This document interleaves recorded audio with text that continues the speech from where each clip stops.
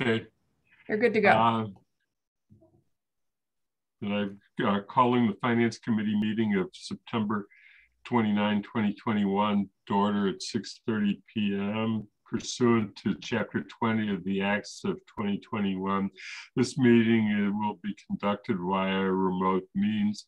Members of the public who wish to access the meeting may do so via Zoom or by telephone.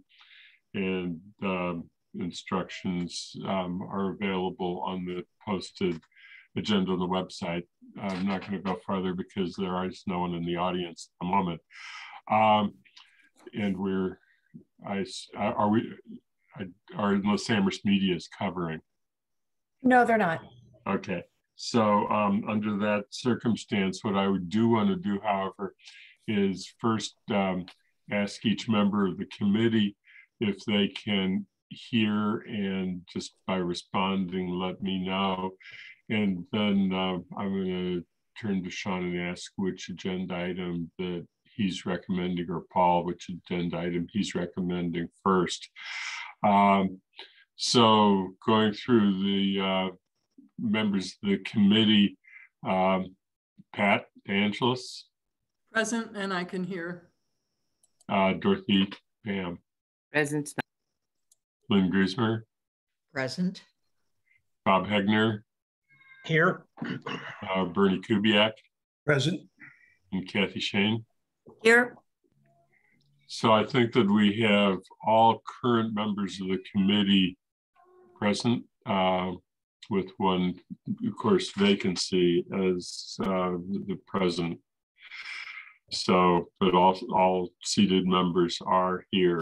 And uh, so uh, the question that I wanted to ask um, was whether in order to, um, if Sonia is only here to present the third uh, or the fourth quarter and year-end budget report, um, is the preference um, that we uh, start with that item?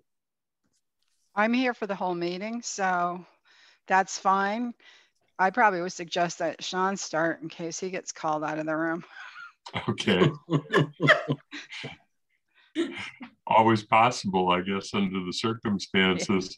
Uh, so then uh, let's turn to the review of the draft of the um, financial management policies and objectives. And uh, my recommendation is that um, since the bulk of the comments were about sections um, fairly near the beginning, that we just take it in order uh, because the comments are presented in order and obviously then um, it's easiest to do if that. Is that acceptable? Yes. If so, um, then um, how would we like to do this? Is, is there a request that um, the I the, that the policy be put on the screen or the comments be put on the screen, or should we just assume that it's all available to us? I was thinking, Andy, it might be easiest to go through it if I pull up that sheet I sent everybody and we just That's go through comments and then we can, um, you know, I can kind of highlight, unhighlight them as we address them. And then if there's anything that needs follow up, I can make notes right there. Okay, then go for it. And I will try and keep an eye on hands raised at all times as we go through.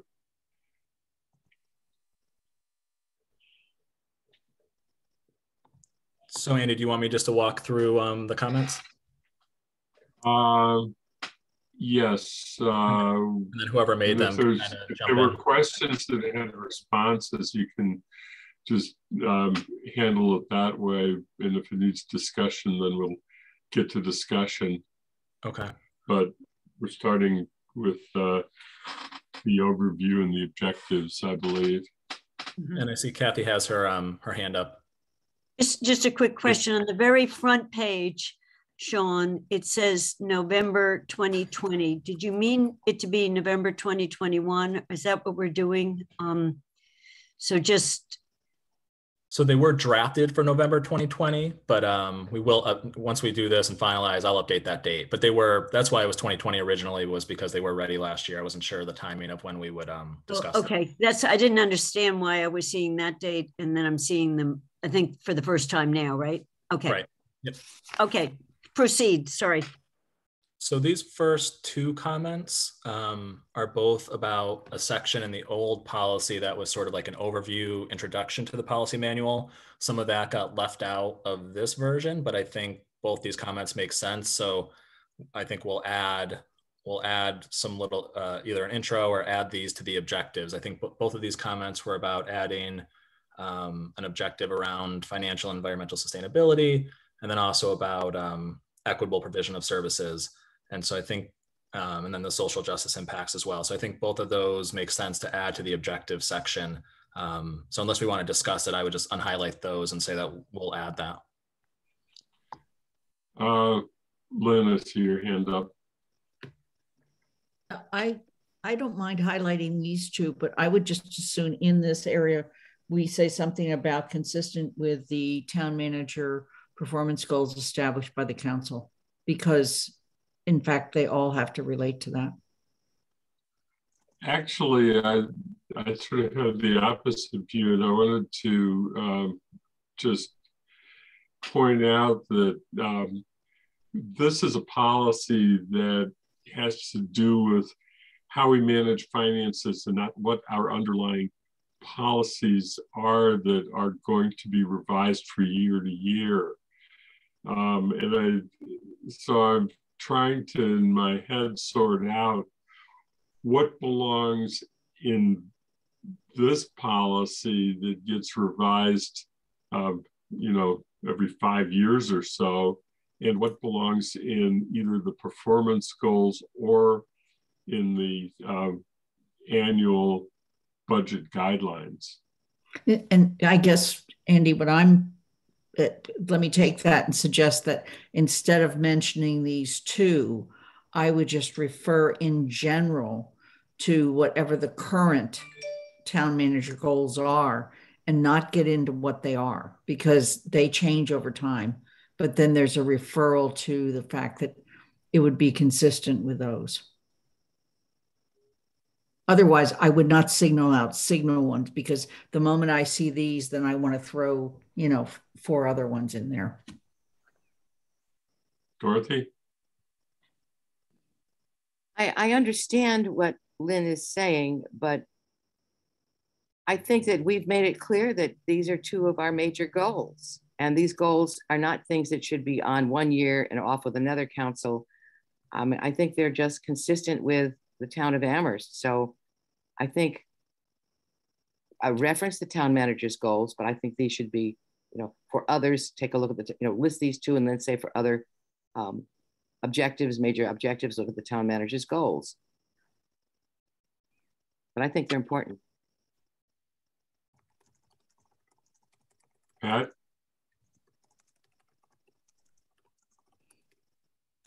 You're muted. Unmute. I'm not adding anything new. I just wanted to uh, affirm what Dorothy said, and I agree with uh, putting these two goals in here around uh, environmental and sustainability and also uh, social equity and social justice because they are going to be ongoing. They're not going to change.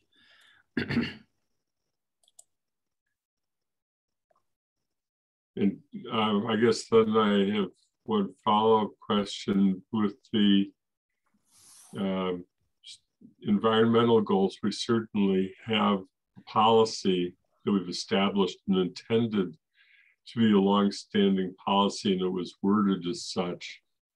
Uh, I assume that uh, the consensus is seeming that they both fall under that rubric.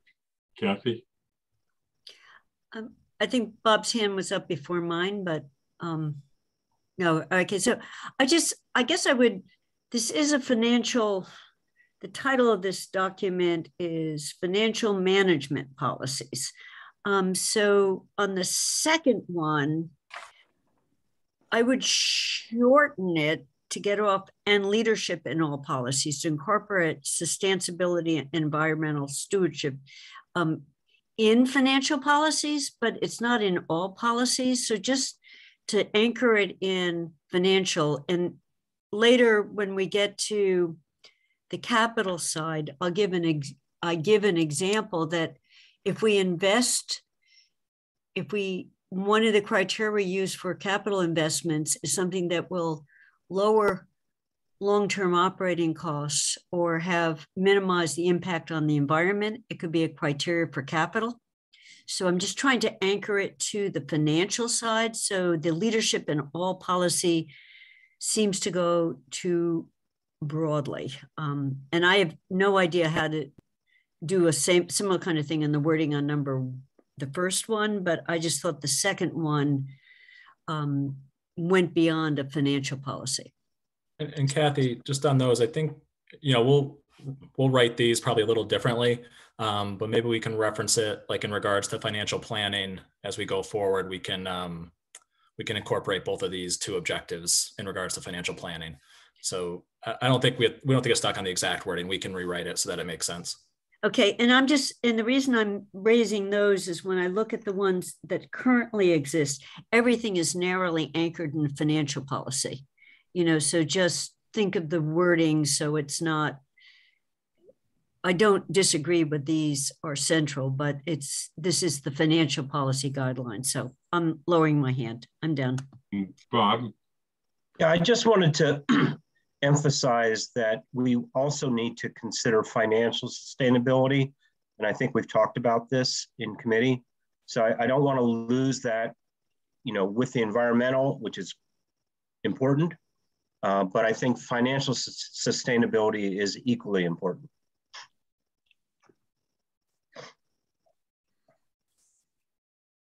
Okay. Um, and you can capture that, yeah. John? Yeah, that's that's in here, but we can, um, if that's not already an objective, we can um, we can make sure that's uh, mentioned or highlighted. Dorothy has her hand up as well. Right. Uh, an objective is not a promise. An objective is a goal, and the reason that I think they should stay in is that we do have ups and downs, and we have hard times, and sometimes we have to make choices we don't like, but we also I know that just from you know having lived this long that these are the kind of things that get dropped first. People say, oh, it's really hard. We can't afford to do that. Well, maybe you can't afford to do all that you wanted. But for example, we have said that we were going to put aside money for the reparations fund. Uh, if the finances got really bad, I think we should still put some aside, but it might be a smaller amount. I think the goal should still continue, although we have to bow to reality. So that's, I, because all these nice things, they always get dropped. Like in education, all the new programs, as soon as there's a hard time, all the new programs are out. Well, I just want to uh, want us to be able to move on, but um, the key question is in what is the budget that's going to be developed and um, submitted to the council, and what is the council then going to approve or not approve? Because that's what the charter dictates as the process.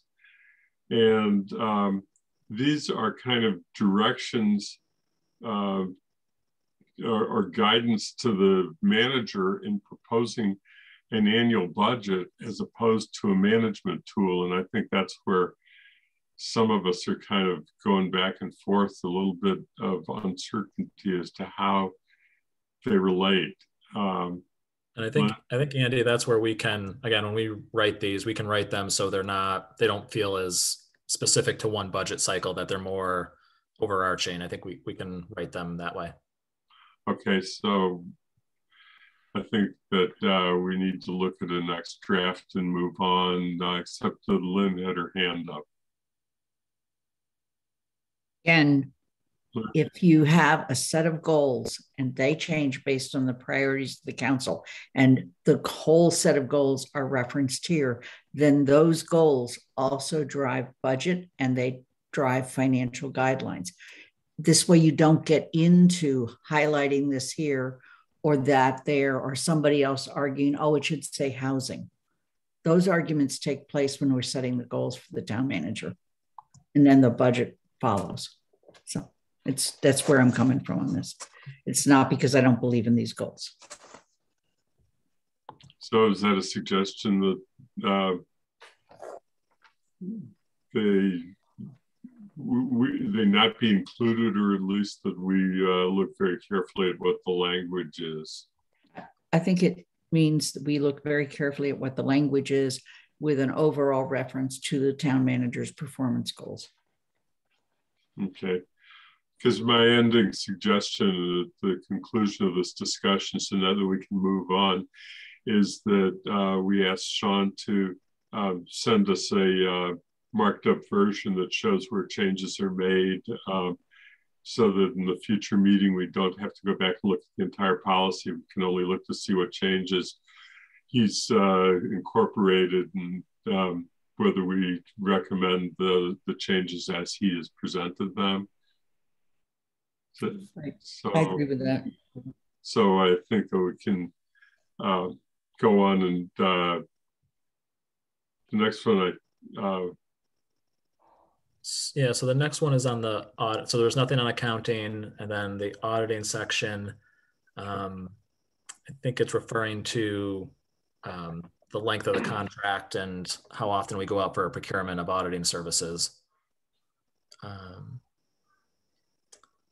Dorothy, was this? I think this was your comment, right?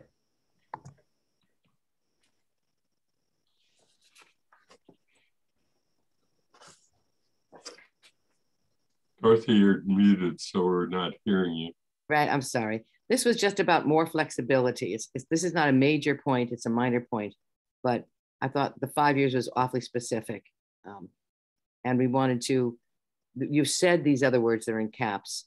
And I mean, it, you know, I'm unhappy that we don't seem to be able to change auditors, but you've explained why we can't.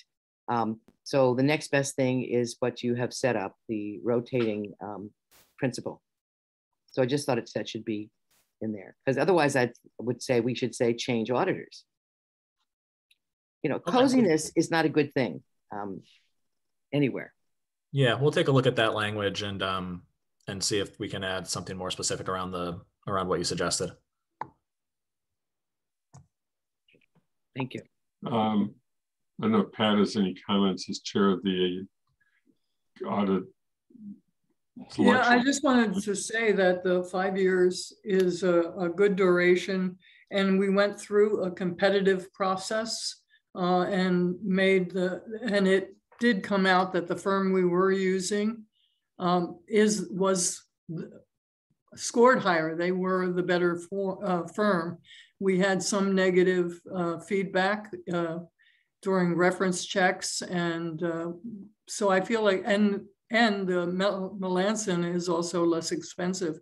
And I think we've made a really good decision and that change of principle, um, it will be a very good thing because it really does bring different eyes to the process, Dor Dorothy. Um, and I just randomly changing, there are only a couple of firms anyway in this area. So randomly changing the firm uh, isn't necessarily a, a productive thing to do. And I guess the other thing, Pat and I went to a training that was, that I think we forwarded information about to everybody else that was conducted by the Division of Local Services and the Office of Inspector General. And I think that it had a very specific five-year recommendation. Good. So should we go on to financial planning? Yeah, so I think this next comment, um, I don't Bob, I think this was Bob's comment. I don't know, Bob, if you actually had any suggested changes. I think you were just noting that, um, you know, due to COVID, this is more difficult than it's been in the past. Well, yeah, I actually put the reasonable expectation in there rather than, what did it say? It said, without firm evidence that revenues, I just, we don't always have firm evidence. You know, sometimes we have to do a, a guesstimate. And I think COVID you know, kind of demonstrated that, that we had to kind of come up with estimates of what we might get uh, in terms of revenues. So. I just, I just wanted to make it a little bit more flexible. When I uh, read it, I highlighted um, the section that says uh, revenue, revenue deficits will be avoided at all costs. Um, I think that that's it's a good sentiment, except that uh, what can you do? How do you avoid revenue unless you uh, are going to lowball your estimates on and always end up coming out so that you'll always come out on the high side, which has its consequences too, because then you're always building more surplus. Yeah, I mean, you that's you always budget conservatively for that reason, and you know, not every every revenue category might be a little different in a given year, but if you budget conservatively, usually it sort of evens out. Um, but I think most finance managers will say that's why you budget conservatively because um, because of that reason. You don't ever want to have a revenue deficit. Sonia? Yeah, I just um, wanted to remind everybody that the DOR actually regulates our local receipts pretty heavily. So you have to have evidence to raising them and why you're raising them, whether it's rate change, you can reasonably expect money coming in. And they also um, look at if you put them too low. So they're watching that all the time. And I just wanted to point that out. You have to pretty much um, defend any local receipts that you put in the tax rate. Anything, anything else that people want to add here? Because otherwise, it's the sentiment to just leave it. I think uh, unless Bob, you have another, it's anything else to say, no. should we just leave it as is? Okay. I think that's what we're agreeing to then. So next. All right. So the um, next the next comments on reserves. Um, and so the the one of the bigger changes in the policies is that we changed it from five to fifteen percent to ten to twenty five percent. Um, and Sonia and I thought about it a lot about what's that right upper limit.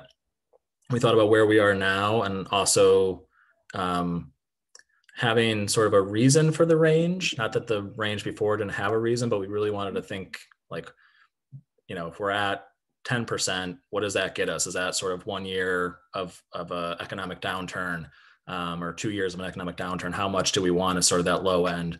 And then at the high side, we wanted to think about why would we want this much money? What would we be saving for? Um, so we tried to write that in there. And, um, and I think the question here is, so there's a lot of questions on reserves, but the first question here is, um, how does the 10 to 25% mesh with um, stabilization funds, which cannot exceed 10% of equalized valuation? So the 10 to 25% we're talking about are of general fund revenues, which is, um, you know, our, essentially our budget whereas this 10% of equalized valuation that's the the total assessed value of the town. So that's the number that's like in the billions when you add it all together. So we're nowhere close to we're nowhere close to that number okay. So that's that first one. And then i think the next que- the next comment was about um, uh, the, the policy talks about if we're going to pull money from the stabilization fund having a plan to replenish the fund and whether you know whether we still want to plan for how to replenish the fund if we are still within our our acceptable range. Um, i think that's a good question. I think you know if we're if we're at 20% and we go down to 18% i don't think we necessarily need a plan to to get back to 20% for example um, i think it's more about if we fall out of our range of reserves that we want to plan for how we're going to get back into our acceptable range And I, will stop there because I see a couple hands up. Okay, uh, Dorothy? Um, this is just a psychological point. And we kind of feel that somehow we're in this big ordeal of four capital projects and that we're going to come out and we will have caught up. But the fact is, we will not have caught up. Um, a lot of people are making noises about the senior center. And um, that's going to be another big project that will come after we finish the ones that we've got on our plate. So, um, you know, keeping them on the high side if possible is good because we're we're not really over the hump, even though it's going to kind of feel that way. And uh, Kathy? Um, yeah, I, yeah, this will seem to go in an opposite direction of Dorothy. Sean, you said we went from a range that was five to 15 to a range that was 10 to 25.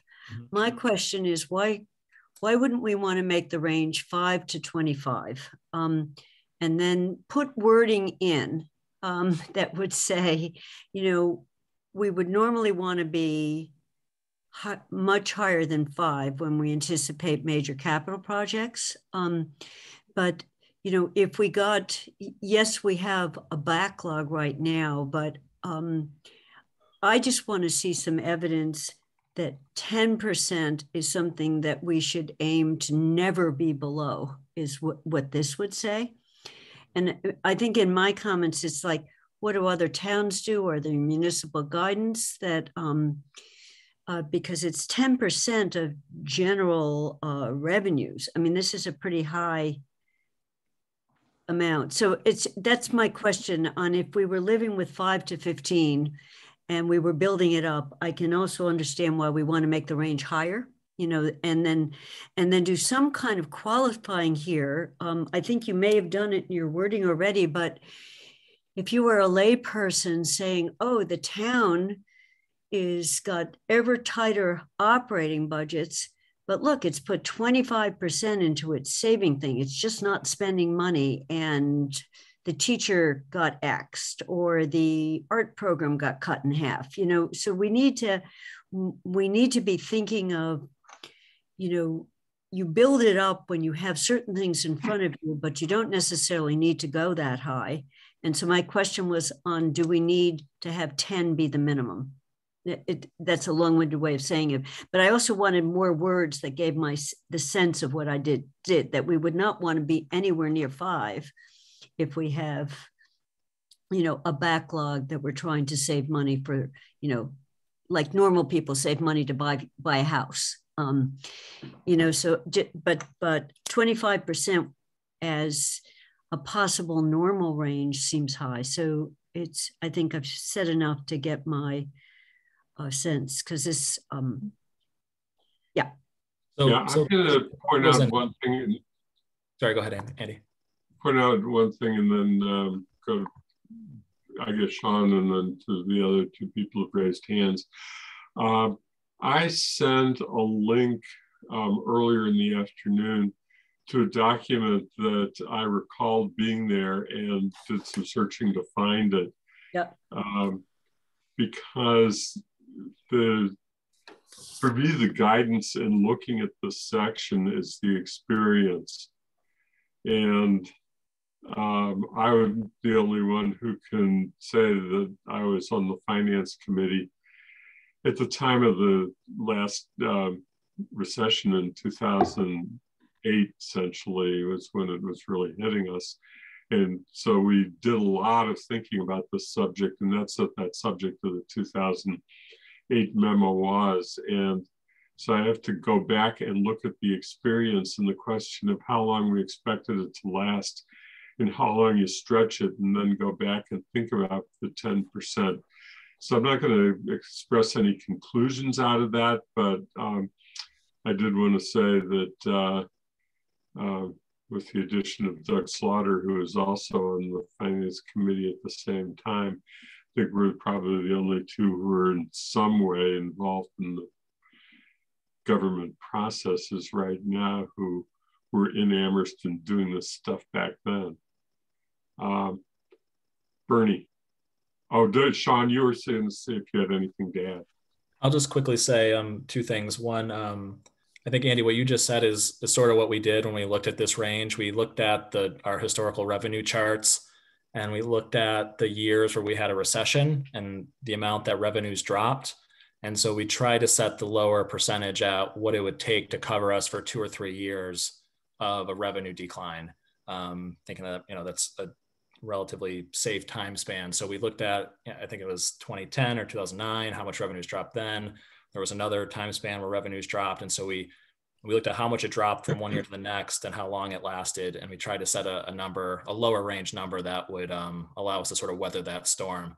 Um, at 5% of our budget, we're talking about four or five million million dollars as a reserve, which just felt like at where we are now that that's maybe too low.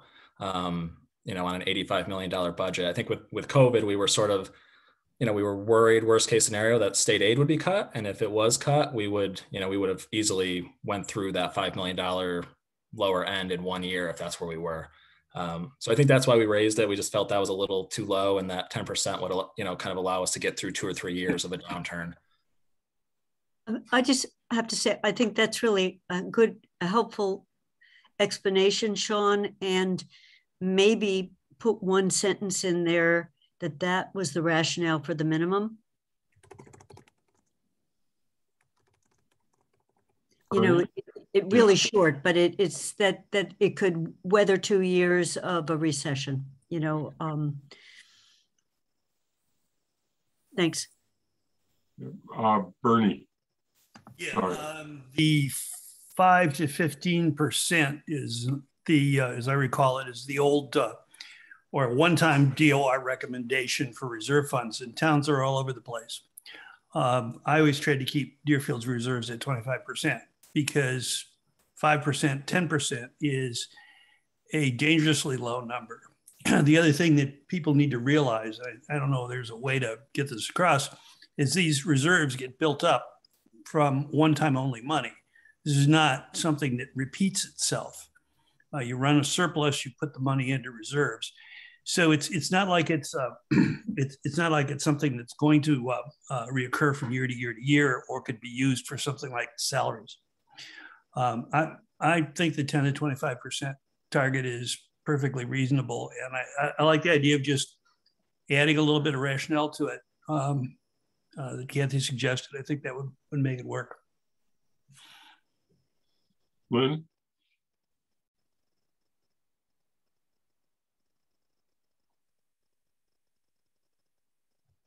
I appreciate that you and Doug were on the um, finance committee. I was on the committee that wanted to build buildings and got stopped smack in the middle of it all. Um, I want to say two things. First of all, I absolutely feel that we should go with the low, the not a lower, but the 10% uh, for a couple of reasons. Different organizations use different measures for how many reserve, how much reserves they need to have. And some of them say, well, it should be enough to carry us for half a year. Some of it say for three months. You know, I think the fact that you've looked at how our money has fluctuated through periods of up and down of state funding is a good thing. And I like referring to that. But the other thing I want to just suggest is we're never going to be done with our capital projects because the moment we finish one, we're going to need something else. And so we may feel like we have a backlog now, but you know we have declining roofs we have buildings we're going to have to do things to so i i feel we need to stay with the 10 to 25 i'm totally convinced and especially the two to three years i just wanted a rationale since we were going up yeah mm-hmm.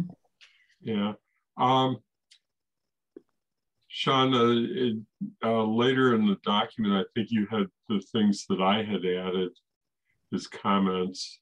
Yeah, you're the you're the magenta. Which color? So these are your comments, Andy, right here on the screen. Or these are so, from the sorry, these are from the memo actually that you sent out. Yeah, well, it was not a memo. Um, I think there was some things that I said this morning that are in that purple piece. There. Sorry, yeah, the top the top part is are your comments. Yeah yeah, the top part are the comments and the bottom part is the from the memo. It's quotes from the memo. The um, what had happened historically was that we had stuck with 15% as the high up until the point when we started looking down at the effect of the four projects and tried to figure out the four projects. And Sandy Pooler had come up with the feeling that we really needed to start thinking about it before we got into the projects per se and start building up to 25 because he, um, of the reasons that we now know about from Sean's modeling and which is really built on Sandy's modeling, initial modeling.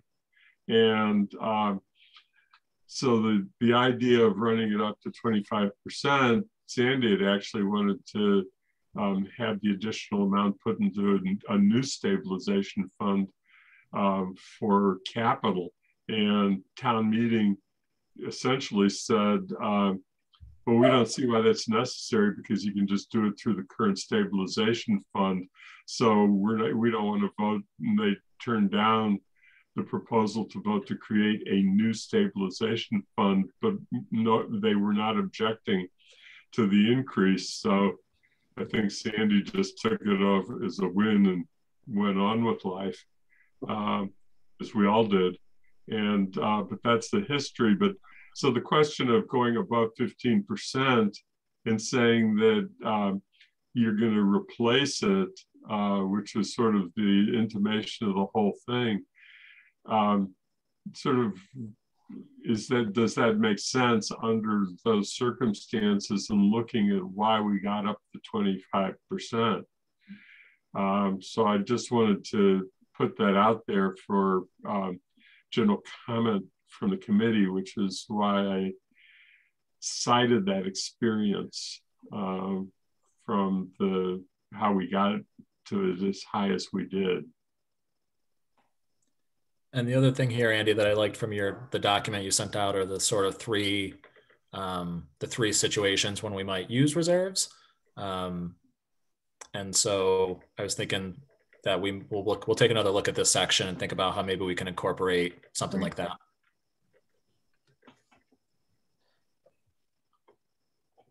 Yeah, um, I, I, put that out there for historical purposes. Of course, that was created at a, at a, at a time when we needed to be very clear with people developing budgets um, as to how the finance committee was looking at it in the time of uh, that it was written, which was the time of the recession. But, so, uh, so the next section, um, more on what we were talking about. So the um, I won't bug you now with it, but there are a lot of um, there's a lot of nice reporting online now where you can look at the reserves of other towns and see what percentages they're at, um, both their free cash as a percentage of their of their budget and their um, their stabilization fund as a percentage of their budget. So um, the, you know, depending who you want to compare us to, there are the towns like Bernie said, they range all over the place, but there's some towns that are in the 30% range. or some that are, are much lower. So um, we can definitely look at any town that anybody wants to.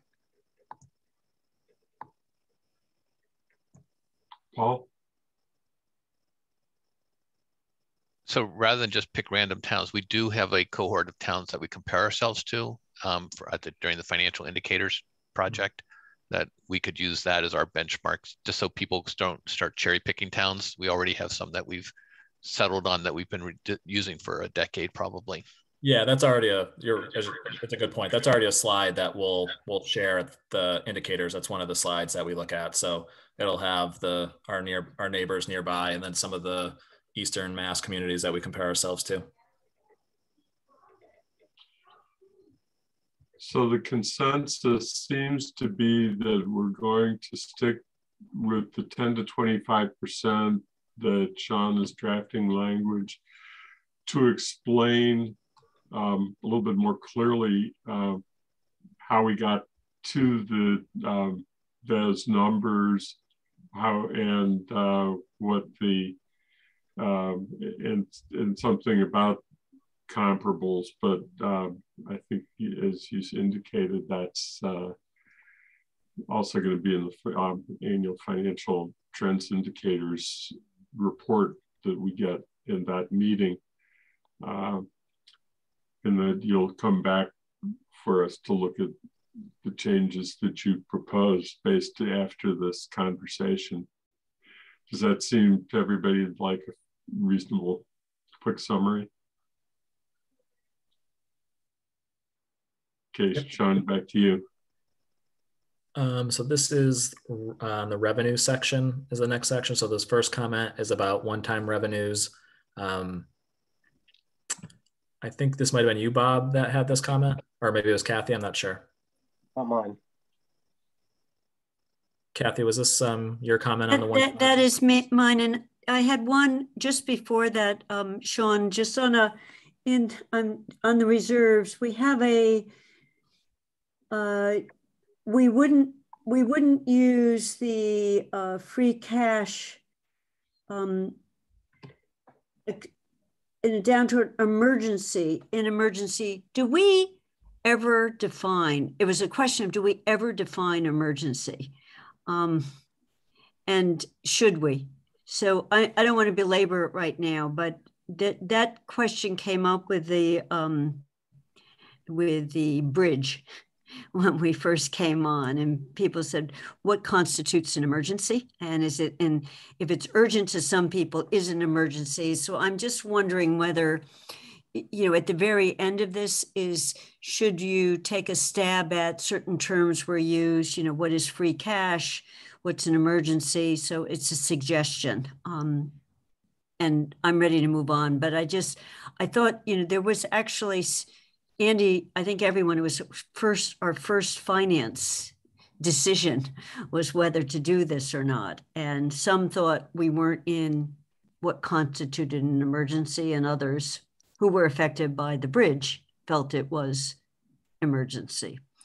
So I, Okay. will just leave, leave that as a thought on do we need something? Um, free cash is one that when people read it, they don't always know what free cash is compared to a stabilization fund. So Mhm. Yeah, and we can look at um, the state has language around what an emergency is when it comes to procurements and how you justify an emergency procurement. Um, So there, we can look. You know, usually has to do deal with um, with health and safety of people and also buildings and things like that. So we can um, we can take a look at that and see if that would make sense to maybe add. Okay, so yes, so this on revenues, it was one-time revenues will be used for capital or for reserves. Um, and when I was reading it to, um, or, you know, I get this last, or as legally restricted to a specific purpose. I think, and so I was asking as a question, I think that covers all these instances where we're getting one-time revenue and we're not using it for capital. Is that true that or for legal special purposes? So we. we Yeah, can't- maybe that's something we can use- maybe we, we can didn't have to elaborate. use the, you know, the COVID money, the ARPA money. I mean, we can, we could use it for operating. So I was just reading that it either go, is a capital purchase or reserve. So um, that, so that was, is that term broad enough to encompass all those? Um, Okay. Yeah, we'll add something to to clarify that. And then, so that was my question on that. And then you had a second of fees that you're going to, fees and user charges should be reviewed annually in relation to the costs of providing the service. So here's one where you want to review a fee, um, and I don't know whether we always review our fees annually. I liked reviewing them annually, but I'm thinking of the instance of parking permits, Sean, and I know you're looking at them. You might want to review them, not just to compared to costs, but for a policy reason. For example, you're increasing the fee to park, get a parking permit on our street because you want to contribute more to transportation fund, because you want to make them, uh, although the UMass lots are full right now, make people think twice about putting a car on the street versus putting it in a parking lot. Um, so this seemed to restrict the fee increase only to the cost of providing the service. So that's, and I understand you weren't thinking necessarily of parking permits. Yeah, Um, and I, I think, I mean, I think this is meant to say, as a matter of financial management, we should be looking at these every year and comparing them to, co- you know, to the cost of the service being provided. But I don't think it mean, I don't think it was intended to mean that we will never look at them for any, um, like for like you said, for policy reasons. So again, we can try to clarify that. Um, but I think And the it- intent was that It so- might be if compared to costs or for, for policy re, or for other financial policy reasons or something. So just so you don't restrict it that the, and I don't know, I know the water fee is related to costs, the um, building permit fee is relating to the inspection cost, you know, so, so some of these have a much more direct link. So I like the annual review a lot. and my question here was if you are doing fees that are broader, do you as town staff just do this? Do you need to report it up? And this was a question, you know, before they go into to would you bring them to the finance committee normally like we're about to revise our fees and here's the rationale um, or is this just something that the we're delegating to the very capable town manager and finance staff. Um, so it was a question. So i think it, that depends on the fee. Um, so like the parking permit one for example is one i believe has to go to the the council for consideration where there's some fees that don't because they're small enough or um, you know they're just they're not required to. So i think it and i think you know to the extent we would bring it to the finance committee the council probably depends on the adjustment. If we were just making a very small adjustment yep. um, for something i don't think that would rise to that level but if it was something more significant that you're going to hear about um, then then we would uh, probably want to make sure the finance committee is aware of that okay you know, just, you think of inspection services fees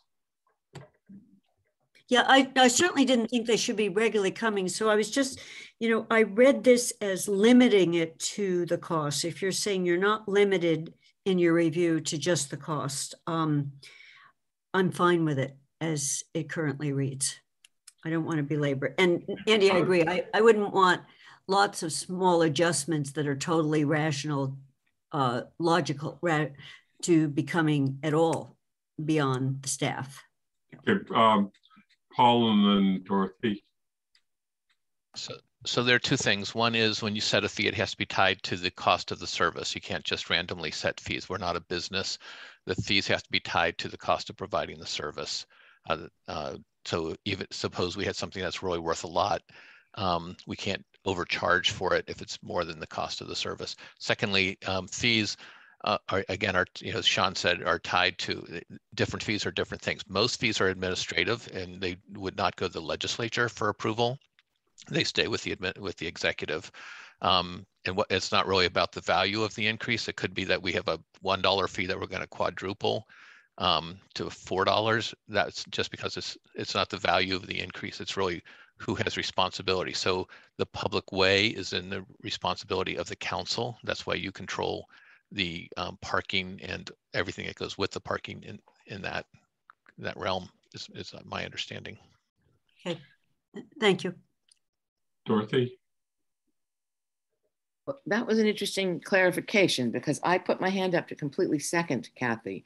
So if you cannot raise the fees on parking on the street, then I think we have to find it because of the, what the word fee means and the definition of fee, that it has to be tied to service cost of services then we have to call it something else because the complaints on this issue, the injustice of it, um, are just coming in. They haven't stopped. Three years of people complaining about the $25 year fee to park on the streets.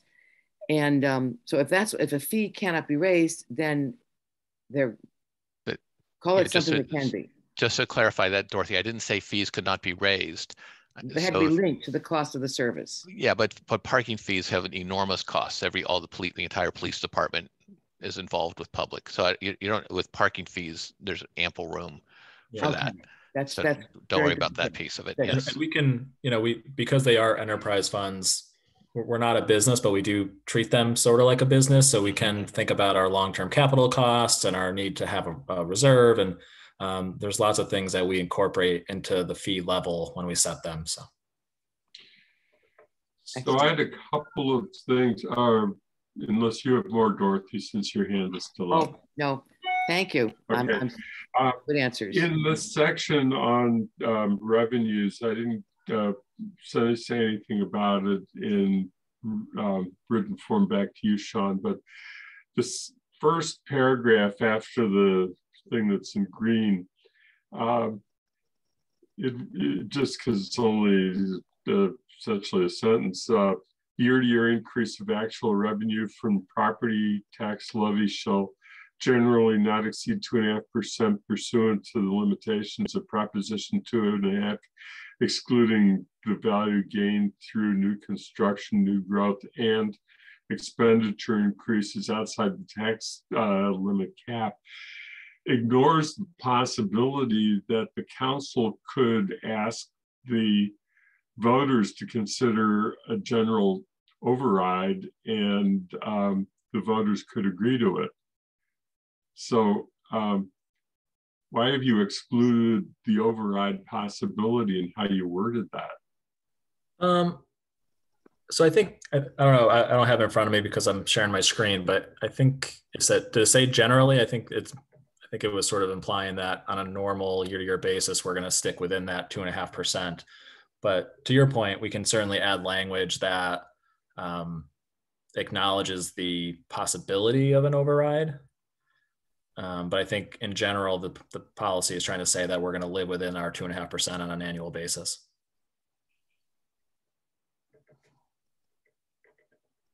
Just seeing if there's anybody who has a reaction to.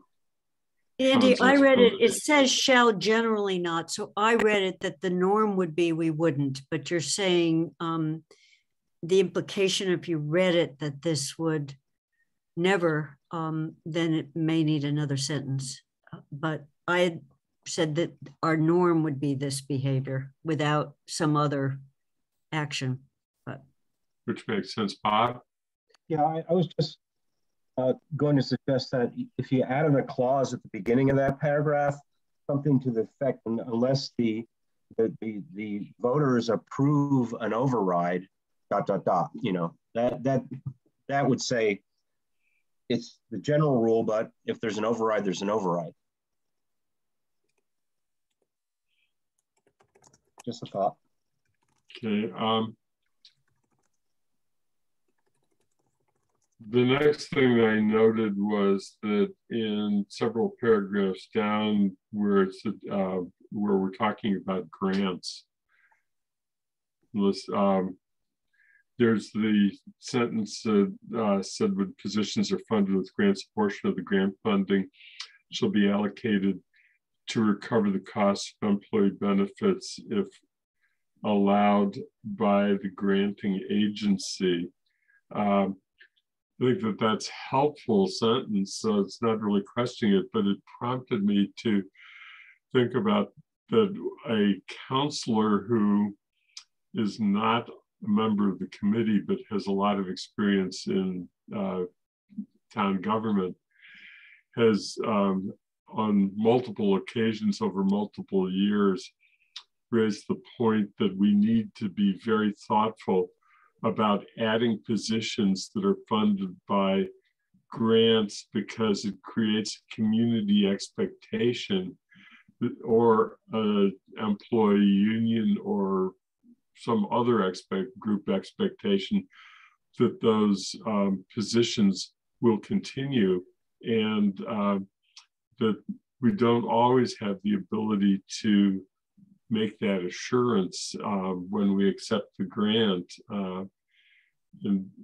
we, you haven't really touched on that subject. And, uh, you know, I can think of several times that that has happened where positions have come and then put pressure on the town to continue to fund the position or the position had to disappear even though there was a constituency that really wanted the position to continue. So I think, and, and again, we can clarify, I think that's sort of what the one-time revenue use um, being restricted to capital reserves was meant to to cover, saying if it's if it's not a revenue that's a reliable annual revenue, that it's going to be um, targeted towards things that are one-time expenditures. Um, but to your point, we can we're going to add clarity around that, including grants as well, based on Kathy's comment. And I think that would address um, your point that you're making. Yeah, I mean, I can give a very specific example of one. Uh, now, is uh, this goes back um, a long time. Um, so Bernie and I may be the only two can remember it, uh, but uh, there was the grant program from the federal level that allowed municipalities to apply to for funds to add firefighters. And uh, we did uh, apply for those funds and add the firefighters. And then the question is, well, what happens when that grant runs out and the firefighters are employed? Uh, and uh, that was certainly one example. And the other one that I thought about was uh, the, the, one that uh, the grant more recently that went, went to the Department of DPW regarding somebody to assist with recycling coordination. So it is a uh, issue that has recurred and uh,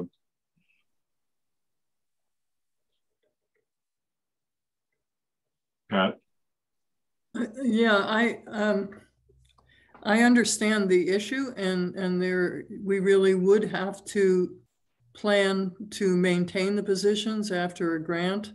But it seems to me, in the instance of the fire department, where they've been told you can't apply for this, seems to be not a constructive way of of uh, looking at staffing and funding staffing.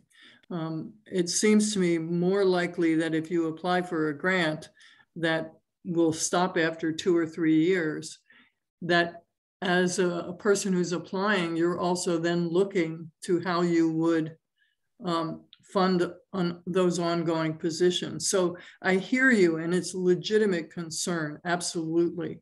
But I think that it's also the way it's been you, responded to is to actually stop our the department's ability to get funding.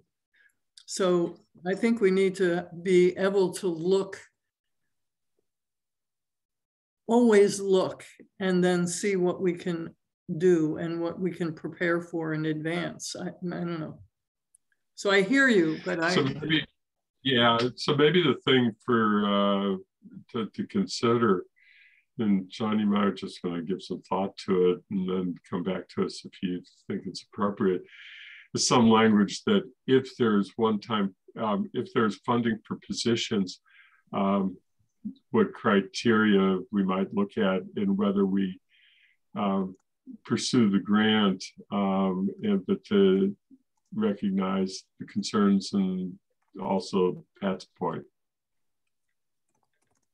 Does that seem to make sense? Yeah, it does to me. Thank you, Andy. That sounds good. Okay. Um, and the, my last one that I wanted to hit on in that section is uh, where you talk about uh, strategic partnership agreement between the town and the university. Did you mean to exclude the colleges? Mm. Mm. Um, no, I mean, so, so a lot of the language I didn't change. I either updated or I um, modified. But I think to your point, we could add. Um, I don't know if there was a strategic agreement at the time it was written with anybody other than the university, but we could certainly add the uh, colleges to it. Okay, Pat, your hand is up. I didn't know who's left up here. I'm sorry, that was an accident. Okay. Then I'm going to turn it back to Sean to go on to take us to capital planning. All right. So I think these might have been Bob's comments. So the first one is around um, inventory. And I think the comment is um, is to, you know, we started really doing a, a more robust inventory last year and to keep building that out to include more and more of the um, of the assets of the town. And then, Bob, do you want to speak more to the deferred maintenance piece? I mean, I don't think that would necessarily be in the. I, I mean, maybe depending on how we, what categories we have for the assets, how we would um, capture deferred maintenance. Well, it, it, yeah, I just wanted to. It, I think I'm echoing what Lynn had talked about earlier, which is, you know, when we're done with the capital projects, there are going to be more, and uh, based on what the superintendent of public works has said, there's a large, you know, backlog of water and sewer infrastructure that may need to be replaced at some point. I, I'm just saying that we need to, before we say that 10% is the right number, we need to understand what what the inventory is. And mm-hmm. I know we're working on it, and I, you know, I'm, we're not there yet, and that's fine. I understand that, but I, I don't want to put some number in here until we have a sense of what it is we actually need. Um, you know, it may be the best estimate we have now, uh, but, but um, you know, I think we should revise that as we get more information. So, um, so the 10%, so on the water and sewer front, so those would be primarily funded out of enterprise funds, I believe. So this, this 10% is um, referring to the general fund, the operating budget and what percentage we would allocate within the operating budget. And so generally that doesn't cover enter, um, water, sewer, transportation, or um, or solid waste expenses. So you know, at the time the 10% was set, it was a goal, and we were well below it. Um, we're still below it, so I, you know, I sort of like it staying there as a goal to get to, and then maintain that, and then we can decide if you know if we want to go based on the the inventory or the the needs at the time. If we ever want to go higher, we could go higher. But I think the 10% is a good number to stick to. And when we look at our when we've done the modeling in the past and we look at what 10% gets us, it does sort of get us to a good place where we can start catching up on anything that's deferred and, and be more proactive on the capital side. Okay, that's fine, but I mean, still think we need to we need to understand what the long-term um, maintenance needs are, even if they're covered under different, you know, budgets. Um, it's all stuff that we have to pay for one way or the other. So that's all. Uh, that was all my point. That's yep, that makes sense. Okay. Um, you know, it's sort of on the same topic, but you know, I, I've got a comment later on the CIP plan. You know, we have not traditionally, when that five-year plan comes out, had a section called enterprise funds. They're off in their own world. Um, and in this, when we read down enterprise funds, is asking for a substantial amount to be put, you know, to be reserved. So, Sean, there may be some way of making it clear right at the beginning. We have two sets of capital needs. One is, you know, covers the school general operating, and then there are capital needs within our enterprise funds, mm-hmm. and and you know, just and that we'll first talk about one and then we'll talk about the other. You know, so I don't know quite how to do that, but um, and then with Bob, you know, the 10%, you know, it's been a stretch goal and we're about to stretch, really stretch to get back up to it, but we can see the pressure it's putting on operating budgets.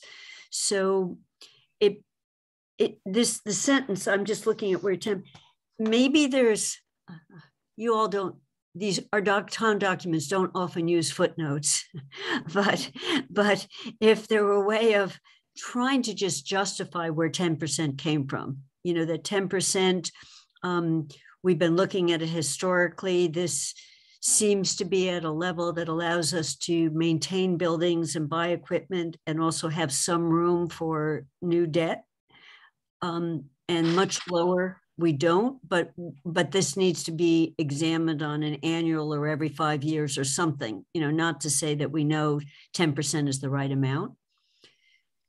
So yeah we can we can add that. I, I think you know the when the original 10% was uh, um, that number was thrown out there that's sort of what they said and if if that's not clear enough we can um we can add language in the doc in the document. I don't think there's any magic number with a percentage, but I think when when we've modeled out 10%, that does get us to a level, like I said, that allows us to be more proactive with capital. You know, as I said, I I'm probably because I have uh, you know sometimes reading academic i don't mind footnotes you know so rather than making the document ever longer that if it is is basically to tell you where did that number come from um, rather than trying to write three sentences to explain it. So I leave that to your judgment on what this does, but um, yeah. So the um, the next sec the next comments are on the um, the capital priorities and there's the proposal to add a couple different, a couple more um, criteria for prioritizing capital.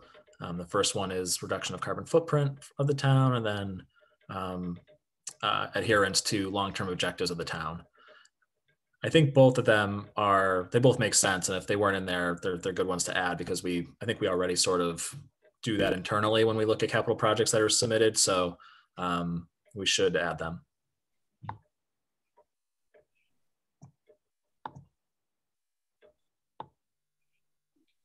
Uh, Kathy, your hand is still up. I don't know uh, if you told well, me what No, Yeah, I forgot to take it down, but um, I don't know whether it belongs here or I'm- I'll make a comment later on judgment, but um, do you think the criteria you have already say, I mean, it may be improvement, maintenance of productivity. Sometimes a capital expenditure is going to save you expenses later. Do you think the one you've got there already says that? Um, again, I can't see the exact language because I'm sharing my screen and it's. I mean, it- what it says is, is improvement slash maintenance of productivity. That's the only one I could see that would, you know, you've done capital, these other two things, but um, if I invest something now, I can lower my heating and cooling costs of the building. Um, and so it's not just carbon, but it's related to operating costs.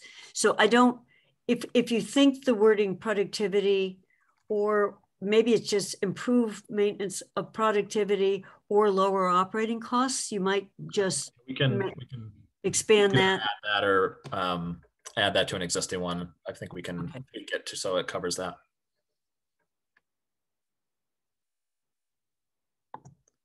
So the next comment is about um, the CIP will be funded, funds of the town, grant funds from federal and state governments and other sources as available.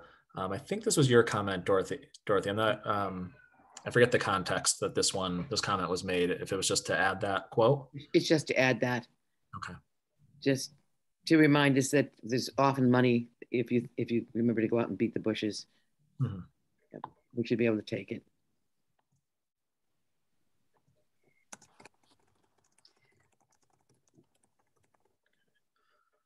All right, and then the next comments are from Kathy. So Um, this is around, do you want to walk through these comments, Kathy? Sure. So I, I loved it that you said you're going, to you, you're doing an inventory, you're updating it annually. And you said, and you're going to provide this to JCPC. Um, what, again, uh, and that you'll post it on a public page. A lot of people look for this and we, because the report didn't attach it, you know, so just um, a commitment that you would post on a public page along, with other budget documents or wherever, you know, so it's not just you have to see the packet for JCPC to find the inventory. So that was just purely a commitment to that. Um, and then the second is it's a question, but we talk about that all the departments will go through this process. There's no mention that we have something called a resident capital request. And my suggestion would to be add um, that capital requests may also come from residents through resident capital requests.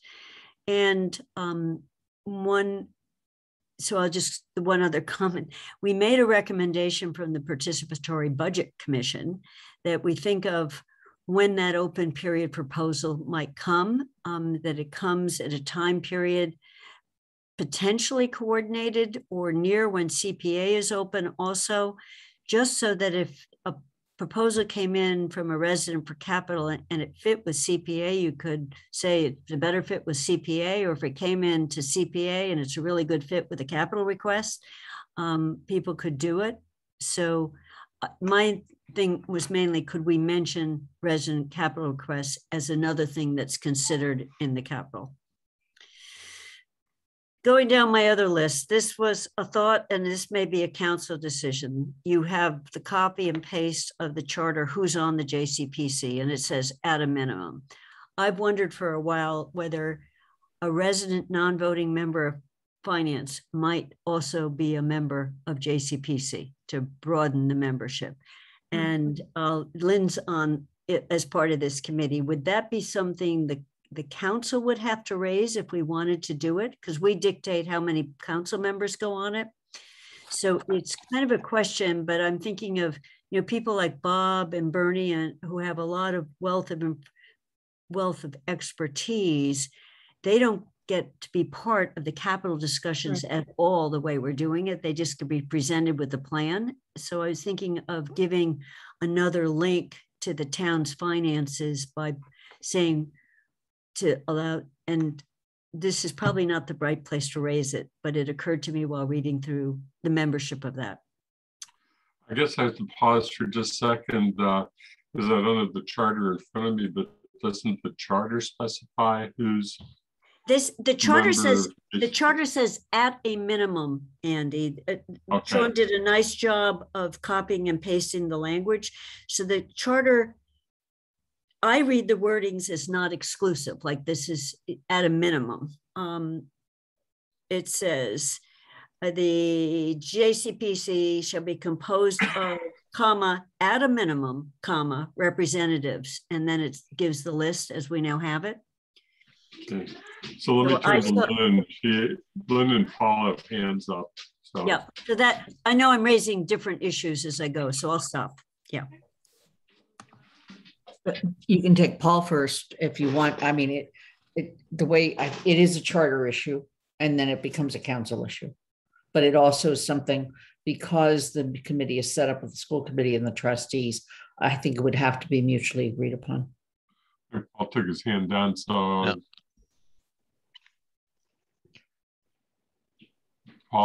Yeah, so yeah, it- it's, it's really not clear in the charter that it, it looks like the town manager appoints the JCPC. But it doesn't, it- it- and it has the minimum representation um, from the three bodies. Um, So it could be essentially three people in essence. Um, But that's not how we've done it in the past, but there's no definition about what's the required composition of the committee, other than that there's three, those three bodies have to be represented. But I have to ch- study the charter a little bit deeper on that one. It's a good question, Kathy. And that's a committee that's advisory to the town manager under, under the charter, so. Lynn, do you have a comment still? No, then Pat, I just wanted to, to support the idea of having a um, non-voting resident member on the JCPC. I think it would be an excellent idea, especially given Bob and Bernie's experience. So I agree with Kathy and I'd like us to really look into that. okay, So, so as I said, that's an issue outside of this document, so we'll, we'll figure out, Lynn, whether, when and how. So my um, priority list of deciding on capital on page nine, this, this is kind of an overlap with um, objectives, but I, it says greatest need, and I thought we could add some criteria, potential for long-term payback. Um, you know, which could be reducing operating costs, improved productivity, or reduced admissions, reliance on non-renewable. So I thought it's the greatest need is not the only reason that we would want to put something up with a high rank. Um, so it was a suggestion to add to this. Uh, it appears on page nine. Um, mhm. that's it.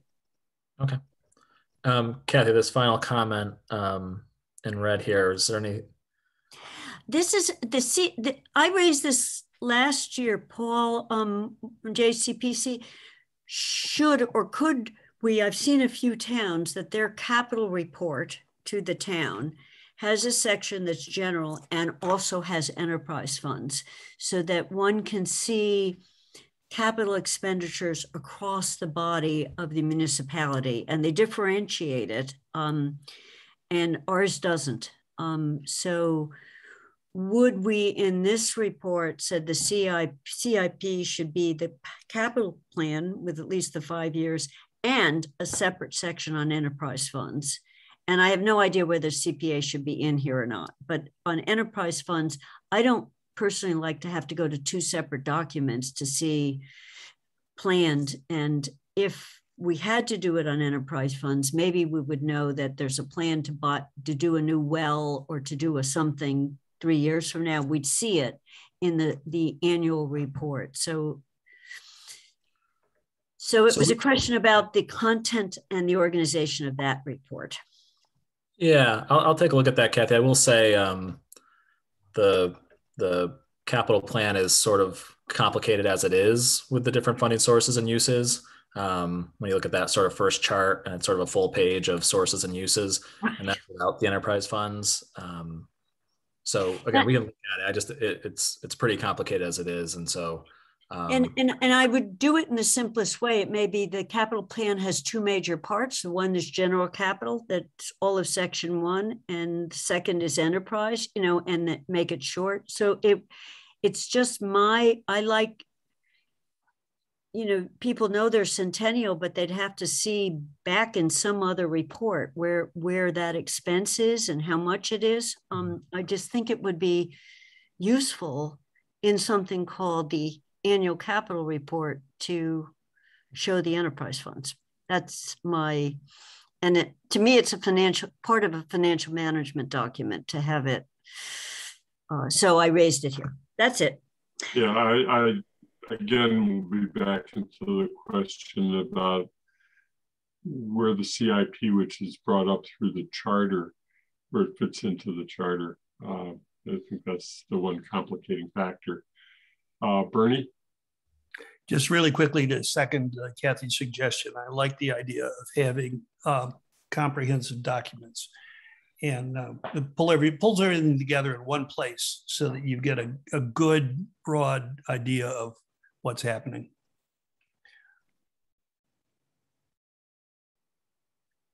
Anybody You- have anything else? You can, you can ignore CPA, CPA, just forget that one. It, my focus was enterprise.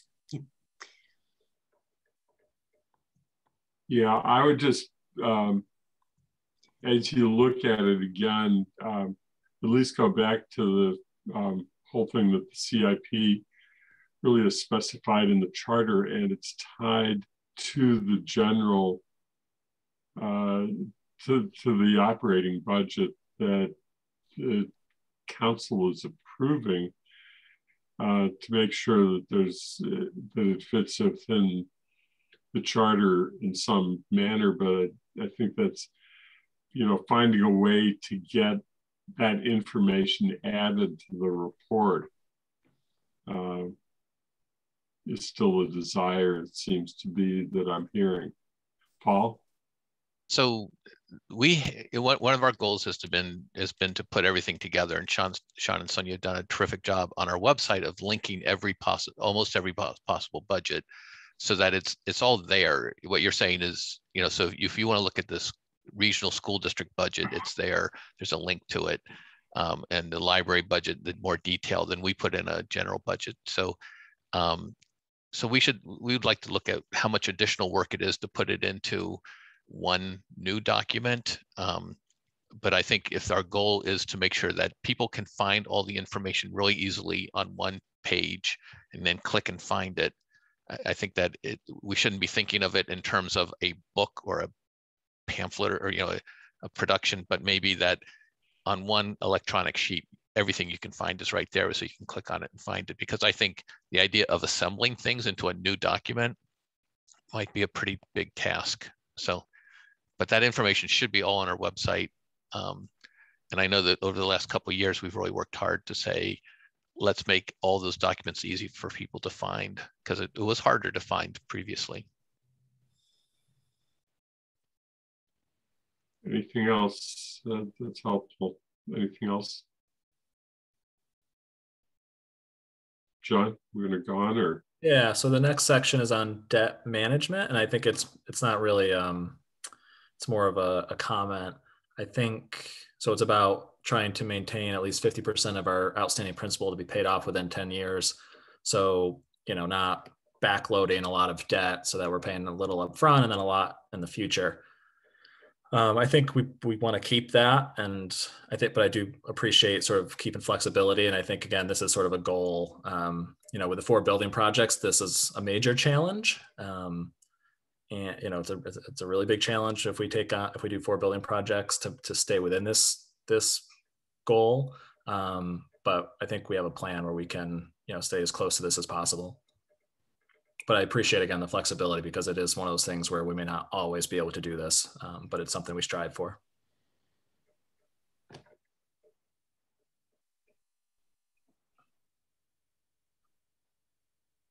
Uh, Dorothy has her hand up. Yeah, Dorothy. Yeah, it just made me kind of wonder for a minute. Um, you know, I, I think most of us don't really have much of an idea of how much money may have come in from the federal government or the state in terms of COVID. And of course, we don't know how long it's going to last either.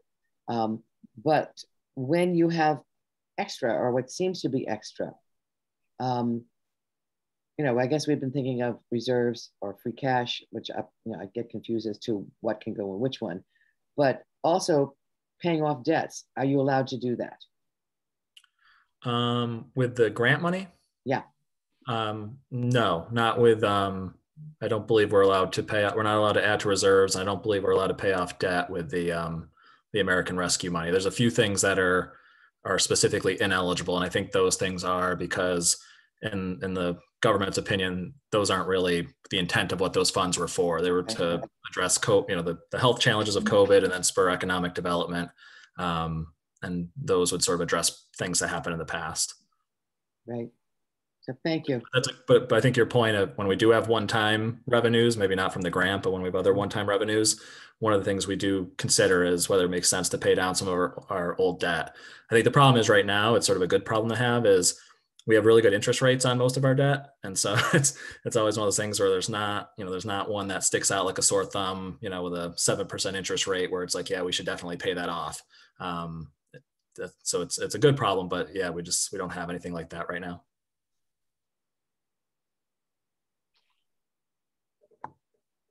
So the next section is on enterprise funds and um, the comment again. So, so a little context to this. So the, the nice thing is there, again, we can look at our neighbor, uh, other communities as to what they have for reserve balances.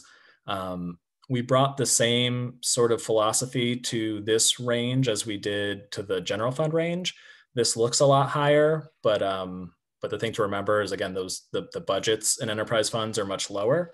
So the the budget for the water and sewer fund, for example, is four or five million dollars a year. So um, 30 to 50 percent is somewhere between 1.5 million to 2 million for reserves.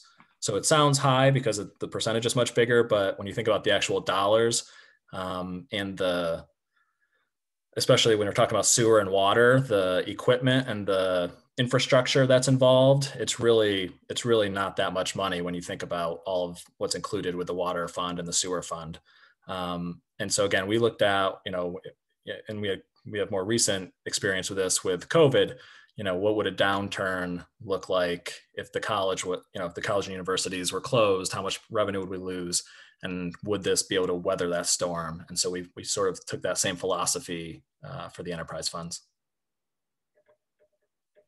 And this was and this is something just where there was no this is a new um, piece to the policy manual before there was nothing around percentages for enterprise funds and that was something that was asked for in the past.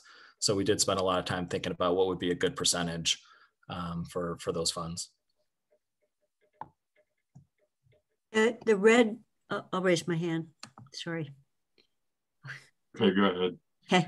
Uh, the the red the questions are for me. Sean, you sort of answered where 30 to 50 came from. So I'm wondering on the 30 and um, what we saw with water was when UMass went home, we couldn't cover fixed costs, so we were drawing off it. So is the 30% enough to cover fixed costs sort of of reserves? Um, so that was a it was sort of a question again a ration i like rationales of where we come up from 30 to 50 um, and if we're um, building it up i mean if if we're not facing um, a big expenditure and we're going along other than the anomaly of umass going home which was an unusual event.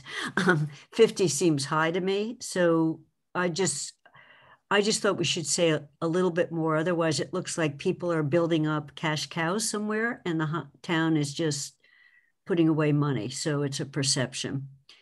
Um, so that was just a, again, I'm fine with footnotes that we other towns are going this route. We know we've got long-term expenditure, you know, we've got some big expenses coming along. So that's what we're doing. Um, then my review of fee structure at least once every five years, I didn't mean the fee level. I meant the conversation that we just had with Guilford that you could structure the water rates with a, a quarterly rate. Is it every five years, every 10 years? Um, should we commit to taking a look at what the way we do you do a different commercial rate from a from residential do we do a specific um, in the discussion we had for people who weren't there we could create the large educational institutions as their own class so it wouldn't hit apartment buildings and um, uh, affordable things so would we want to commit to taking a look at it once every five years to say rather than waiting for the department to have to say we need a change. So it's a question. I personally would like that commitment, but I don't know whether five years is the right time period. Yeah, um, I mean, I don't think it's a bad idea. I think again, it's a staffing thing, and and having some, you know, what does that review entail? Um, but I don't think it's a bad idea to again for it to be a pol in the policy manual for something we strive for um, to take a look at it every five years. Okay, that was my comment. So I'll keep going. Um, so there was nothing with CPA or revolving funds. Um, and then we get to the investment policy. Um, there were a lot of comments on the investment policy. I'll be um, pretty blunt that the investment policy was put together, you know, in large part by lawyers, and you know, we're very careful about the investment policy and not making too many tweaks to that because, um, you know, it's very this is a very important policy with how the treasurer does her work and what's uh, compliant with state law, um, and you know, issues of fiduciary duty and things like that. So we don't want to make too many tweaks, and if we do, we would definitely run them by our um, legal counsel first. So we can we'll go through these, but um, our, our investment policy is pretty consistent with many investment policies across the state, um, probably because they were all written by you know one or two attorneys at one point. So the um, first comments I believe were from Dorothy, and it's about the prudent investor rule. Um, I think it was more of a comment. Just Dorothy, you can add to that if you want, but I think you were just asking, you know, how is the prudent investor rule related to the investment policy? Yes, yes, that was the question. Okay. Yeah, that's, I mean, that's something we can talk with our, um, both our attorney, but also our, um, we have an investment advisor that takes our investment policy and makes sure that we're compliant with it and, and he's mm-hmm. compliant with it. Um, so we can look at that more.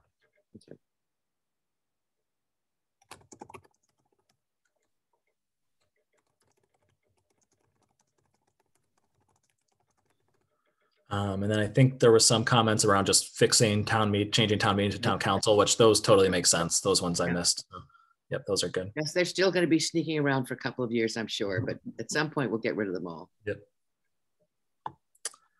Um, this comment on ethics, I think, makes sense. Um, again, this is just broadening um, the behavior that we want out of the town treasurer and assistant treasurers to include anybody who may have any uh, role in implementing the investment policy. So I think that one makes sense. I don't see any major issues with that.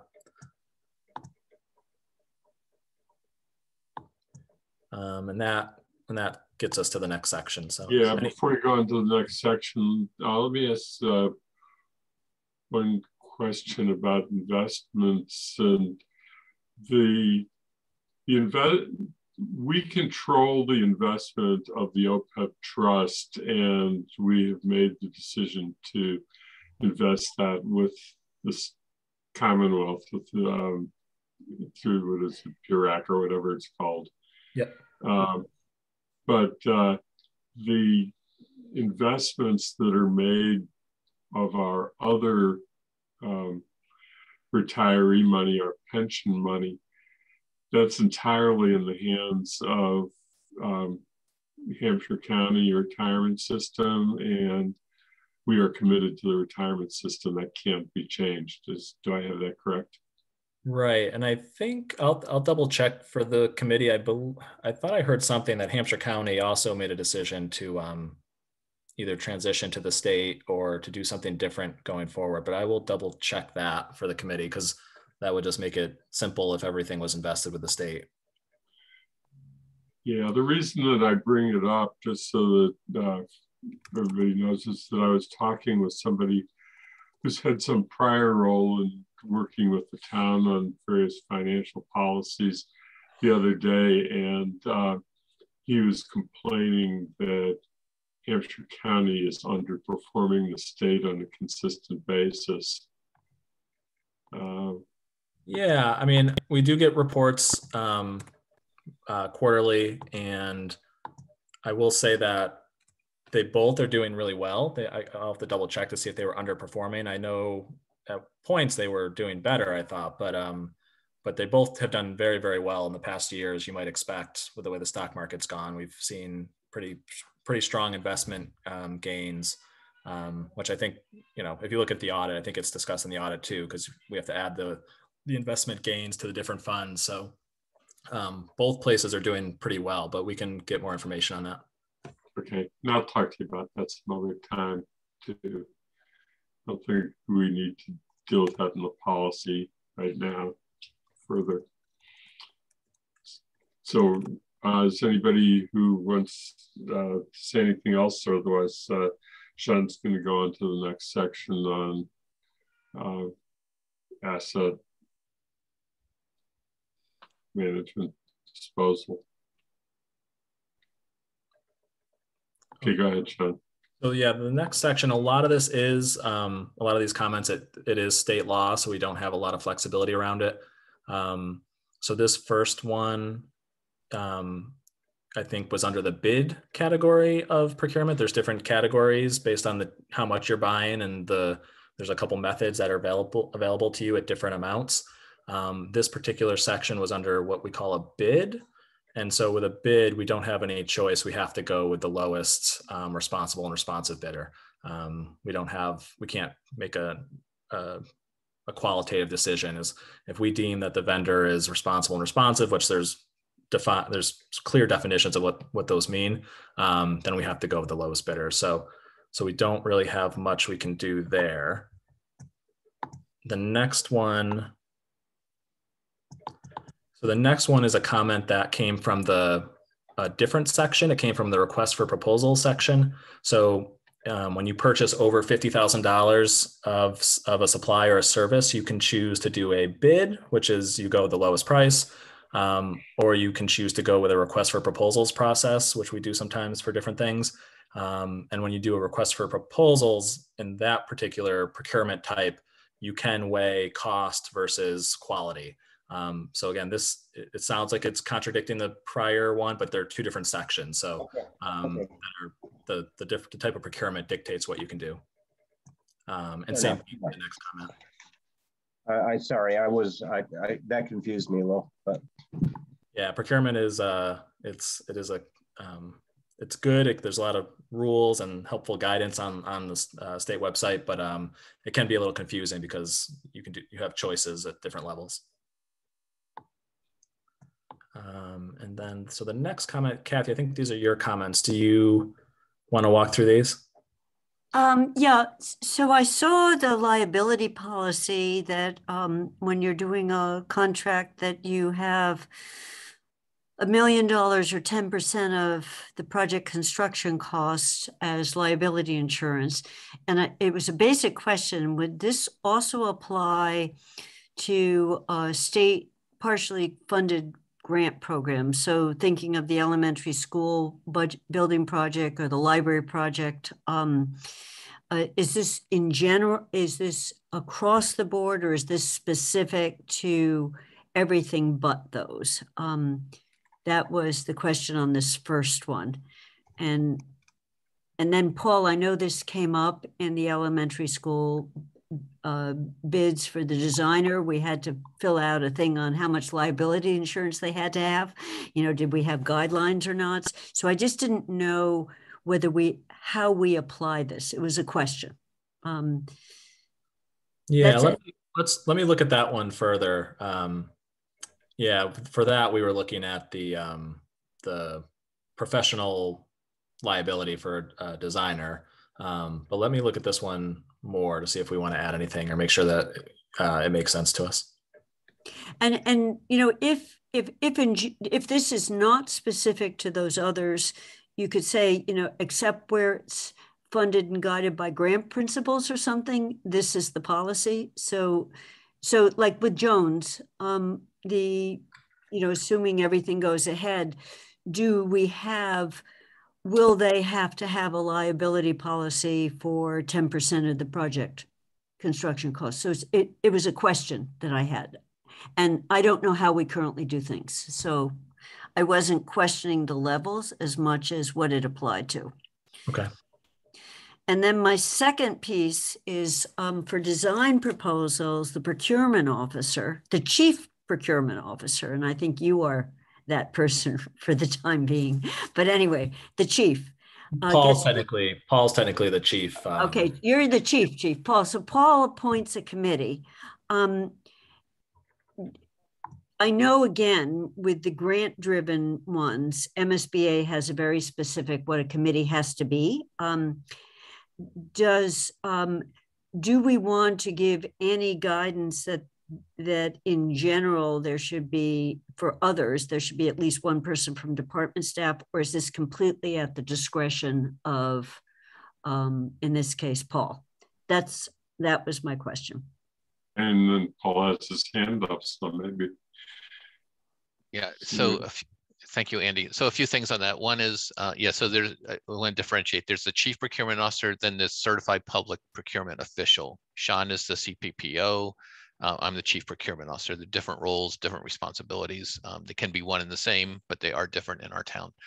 Um, so what I'm worried about is that our policies become so prescriptive and there are so many things changing like the, the, a grant program may have one requirement our insurance company may have a different requirement and if we get to be very specific and these these are policies um, and I know there are guidelines, but I think we, I don't want to get in a situation where we do something based on our insurance company saying you have to have this amount of insurance, uh, or or the market says you know you you you're not going to get any bids if you have that level of insurance, and we've become and we're out of compliance with our financial policies because then we get into trouble because someone can go to a bid document and say, "Ha, you didn't comply with your own rules."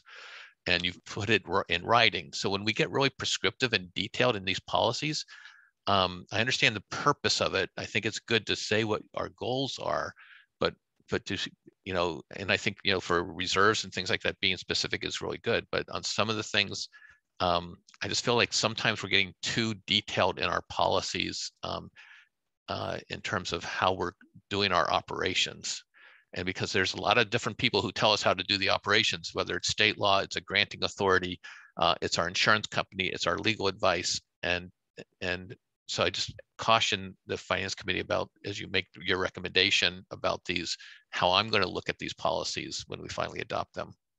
And, and Paul, I just want to say that I wasn't actually saying we should go beyond. I was sort of asking how broadly do we I don't even know where the 1 million and 10% came from. So I'm assuming that works. Um, but I saw that and I didn't know how broadly that applied. And now that I know you are the chief procurement officer, under the charter, you always appoint committees. So I'm perfectly fine.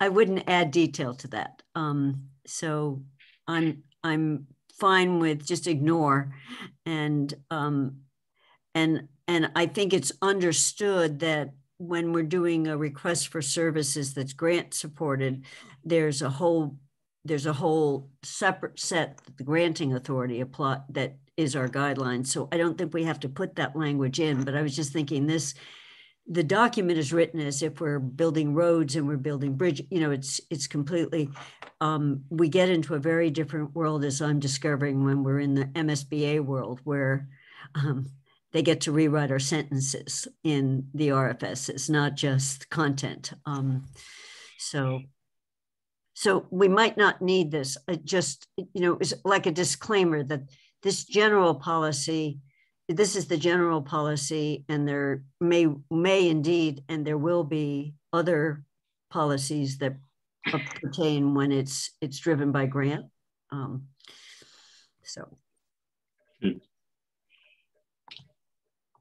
that's it. I okay. It, so uh, Dorothy, your hand is up. I just uh, it's it's out. If this is totally out of order, just tell me. Um, all of a sudden, I'm thinking that we've been talking about capital projects a lot, and no one's men mentioned percent for art for a long time. I'm assuming that we did pass that, and that we um, will, in fact, be budgeting uh, sums um, for that within certain limits, which I've kind of forgotten all the rules, but I know that we spent a lot of time trying to get them just right. So um, that money will will be in the budget somehow. I mean, I don't quite know. Dorothy, if you have time, we can sit and I can pull up the um, the four building project capital tool. There's a little drop down for a percent for art. We oh, can play around with that for us. yeah, yeah, okay. we, yeah, we are definitely um, that's been incorporated. Um, I think when we built that, it wasn't a half percent. I think it's a half percent for art now, but um, but that's a good point. Well, that's definitely um, something we're building into the planning. Good, thank you. That is a bylaw, so it's got already teeth to it because it is a bylaw. Okay. So right. Sean, uh, we're almost done. Um, yeah, just the OPEB is yeah, so it actually wasn't under. So this comment was um, was Dorothy's, and I think it was um, potentially adding a new section to the financial policies about the creation of a popular annual annual financial report. Um, I don't think we necessarily need to add it to the um, to the policies, but I think this is sort of like what Paul was saying earlier. You know, there may be ways as we go forward where we can use technology to maybe put things together in a way that are real easy for people to to digest. Um, I looked at the example. I think it was Denver was the, the example that looked more comparable to maybe an Amherst in terms of um, our capacity and what we could do. Um, and that was a 20 page document that just kind of pulled things from different places and, and put it into an easy um, easy to follow format. So again, that might be a goal that we strive for um, in the coming years, trying to maybe create like a condensed version of of information. But um, I don't know if we would want to put in the policy manual at this point. I just I just think few people they want to know there's a report, but then when it comes down to it, few people are going to read it. But um, I mean, Bob showed me some examples of yeah. um, you know New York City, which you know it's a monstrous budget, actually has like a 20 page report. So it's really just more for our outreach. Mm-hmm.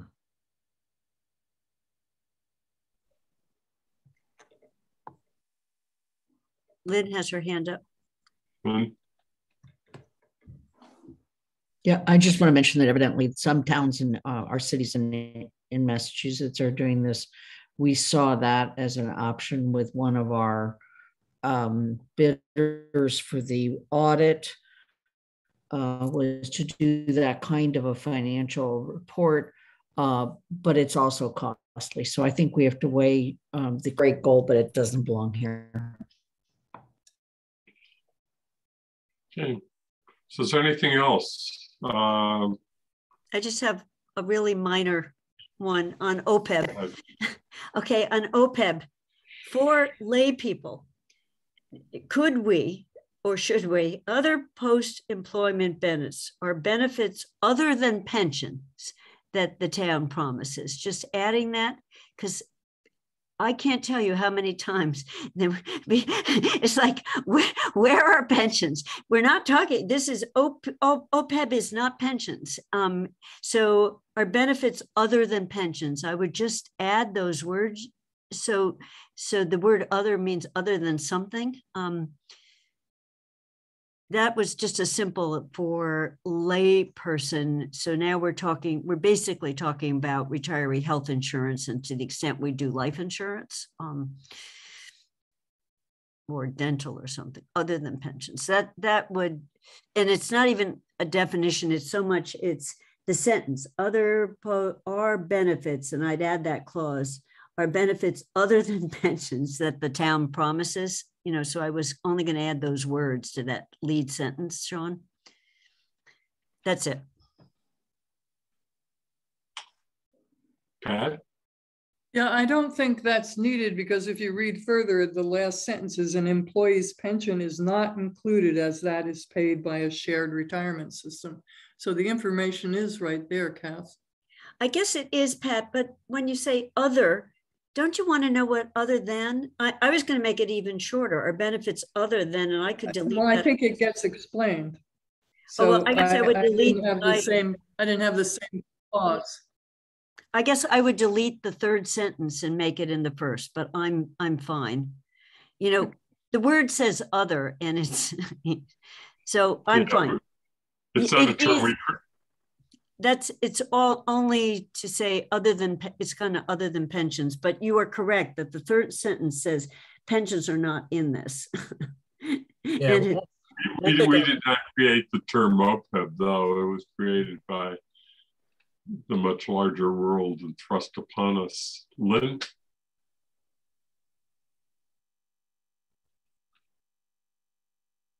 You can leave it the way it is. I just keep trying to explain what other. I forgot to take my hand down. Okay. So, um, Sean, I'm ta- yeah, Kathy, go ahead. No, no, I'm trying to take my hand down. It's down now. Okay. I think we've gone through the document. Yeah, so I Right. can do I can do what you suggested, Andy. I can do a track changes version to um to address a lot of the comments that were made and and I'll review it with Paul first and we'll um and you know we'll send a final version of what we feel comfortable with. Um, and then it's up to the committee when again this is more of a recommend uh you know recommendation type vote. Um, but we'll send back something in the next few weeks. Did we remember to tell you that you did a terrific job? Oh, th- thank you. No, well, again, a lot of the, a lot of the, um, you know, the nice thing about working for Amherst is a lot of things are already done. It's just updating them on a regular basis. So, um, so a lot of the wording, you know, I'm sure Andy helped write. We just sort of looked at where there might be gaps and then, um, and looked at some of our recent challenges and tried to, um, update the document. But again, the framework for the, the policies were really strong and already existed. And, Uh, You and Sonia still do a good, really good job though, so don't diminish it. and just to note, yeah, I just want to note that it's a team effort that Sonia looks You at all these well, I- things as well, well. I meant so a, a bigger, it's the big, the big you, the, the yay team.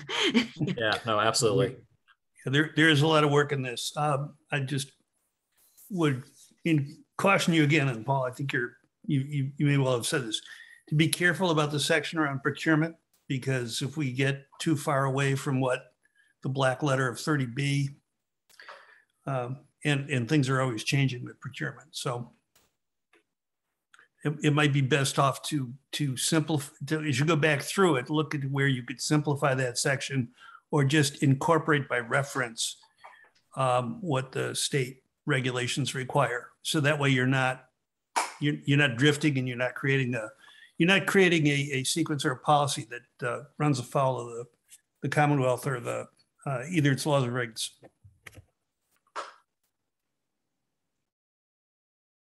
Okay, thank you. Anything else? Because otherwise we should move on to other agenda items. And I do know we have one member of the public and uh, I'm gonna just leave it uh, right now that we don't have a specific time for scheduling public comment. Uh, but if the uh, one person who's in the attendance of the meeting uh, would like to make public comment, if you raise your hand, I will know that you raised your hand and then I will work public comment in at um, an appropriate time. But I, I think we want to go on um, and get the uh, fourth quarter report, year-end report done, which actually is going to tie us back to some sections of the policy that we just talked about. Um, so that would be the next agenda item I would propose to bring in because I actually do see a link. So, Sonia, do you want to start us off or?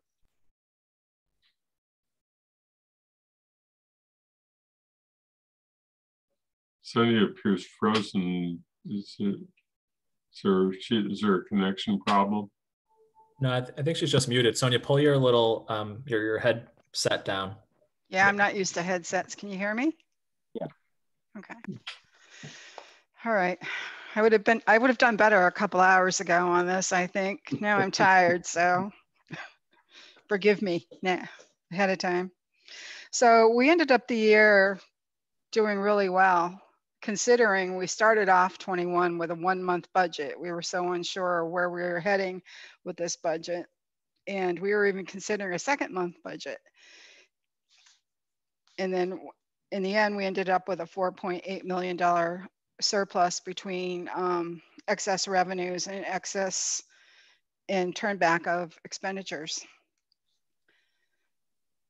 I had this all planned out with bullets, but now I'm tired. so when I started to do this report, I was going to state that this is an outlier year, but then I realized the last three years are outlier years. So I decided to put this chart here so that on page one, which is a visual of the last six years between our budget, what we budgeted, what our revenue surplus was, and what our expenditure um, surplus or deficit was. And you can see that from 2019, we returned our um, expenditure surplus was pretty large. And our revenue surplus was large in 2019, which is mainly due to the um, health insurance surcharge paying back uh, when we switched over from self-insured to fully assured. And in 2020, of course, COVID, we had the deficit. And in 2021, we ended up with a revenue surplus. And that's because we reduced our budget significantly for 2021 with um, COVID in mind. And we had a zero increase in operation in our operational budget. We reduced capital percentage and we reduced OPEB, which in turn, um, we reduced all the revenue estimates in our local receipts pretty drastically. But uh, recovery happened better than we expected. We had no budgets in, um, first of all, I'll tell you on page six is all the detail for the revenue surplus. So you can see that in a lot more detail, um, the how the revenues performed by category. We um, had zero, we reduced the local receipts budget significantly, but our revenue actuals actually came in a lot better than we expected, which was a great thing. And then our expenditure surplus was also very large. It was 2,047,000. And the bulk of that is from our employee benefits. We saved a lot of money under employee benefits because we had a lot of vacant positions and um, we had a premium holiday. So that, that helped there.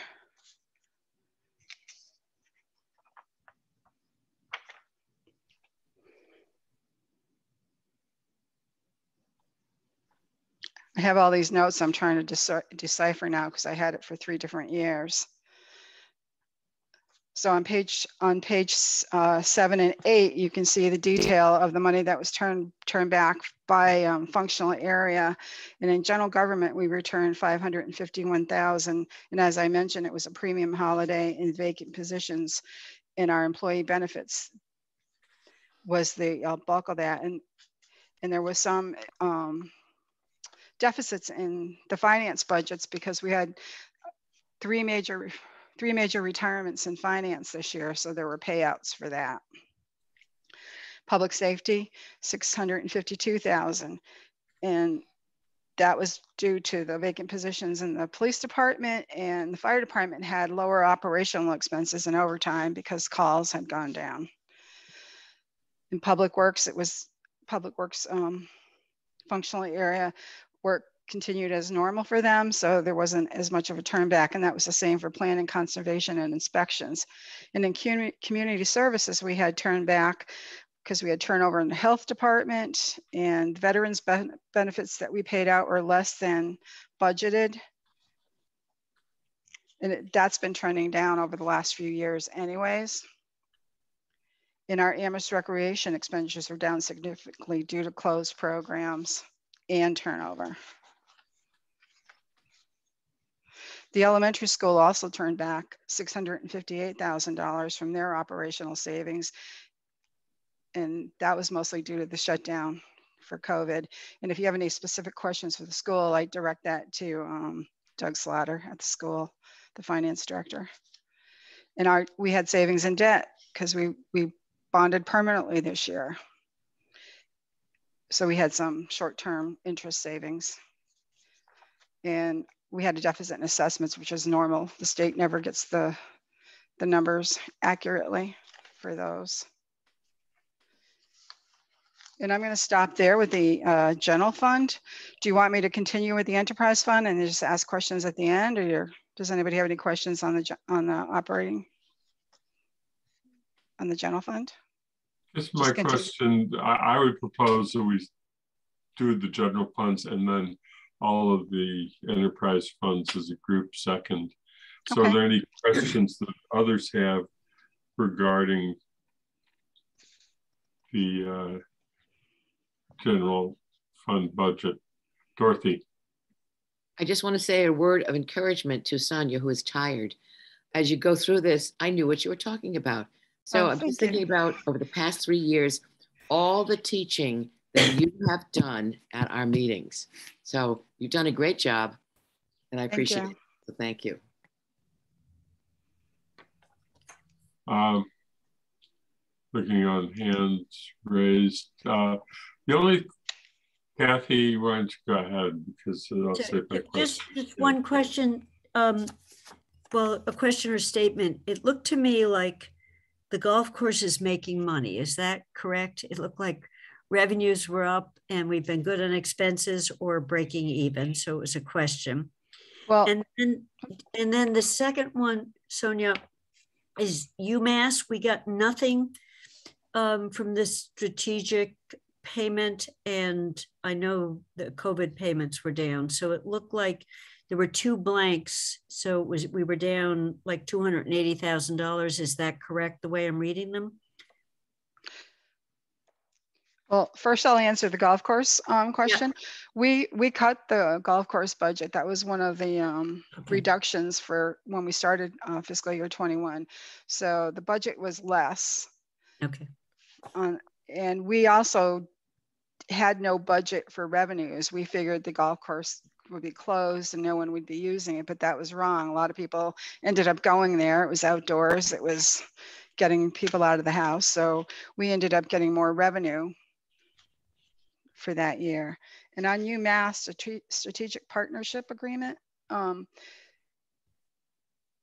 that was, I don't think we have an, an agreement in place at the time right now uh, so there were so there were payments made directly to the schools under the agreement right that exists now. The schools get um, I think it's two hundred thousand or so directly. Um, some goes to the elementary school and some goes to the region. So um, I believe they did make their payments to the schools. Um, and then the one thing I'll add on the golf course is that's sort of a good news thing is that's one of the areas where staff sort of um, the staff whose jobs may have changed a little bit because of COVID they chipped in and helped cover the golf course. So we were able to cut their the budget a little bit because we were able to backfill it with other staff. So there were I know there were people in the finance office and people in other offices, um, the senior center, um, who helped run the golf course. Um, so it did do well. COVID did a lot of weird things, and one of them was Cherry Hill. Cherry Hill did well um, last year. So um, yeah. Well, it still had a ton of people out today. I was out walking on it, so I think we've got a, probably because the other golf courses have closed. Um, we we've got a it attracts college students um, and families, a, a, big age mix, and some women. Thanks. Okay. Move on to enterprise funds. Yeah, uh, before you do, um, because this is what I'm gonna, what I have is actually related to this budget, the part of the budget we were just talking about. It's more observations and wondering um, how we're going to frame the discussion of this because I can hear other members of the council asking these questions. One is about cannabis tax and um, whether the cannabis tax even though we didn't have a budget because we didn't uh, budget an amount, uh, we uh, had no basis for creating a number, as I recall, was the reason. Um, now the question is going to arise about expenditure of it. Uh, second piece that then flows from it is what does this mean to what might be recommended to the reparations fund and when will um, you make a recommendation to us given the information that we've just received about the reparations fund? And i think the third thing that is a, that's just a general comment again that comes back to the um, this this particular part of the budget is that uh, in the end, if we do nothing else, then the, uh, the money, anything that ends up in free cash ends up in free cash. We're getting an indication it's going to be a fairly large amount, and we can uh, transfer it all to um, some one or more of the um, funds, the stabilization funds. But um, we now have two, and so get back to the issue that I raised before. So there's a whole bunch of policy issues that are going to flow from how we deal with this. And I just wonder if you had given thought as to the process to have this conversation. Sonia, do you mind if I start? No, go for it. So on the cannabis revenues, remember there's there's two streams. So there's the the tax money and then there's the impact fee money. So the tax money wasn't budgeted in FY21, but it is budgeted in FY22 going forward. Um, so that's a category where there won't be a big surplus going forward because we are budgeting budgeting that to support the general operating budget going forward. Um, the impact monies we are not budgeting that does show up as a surplus.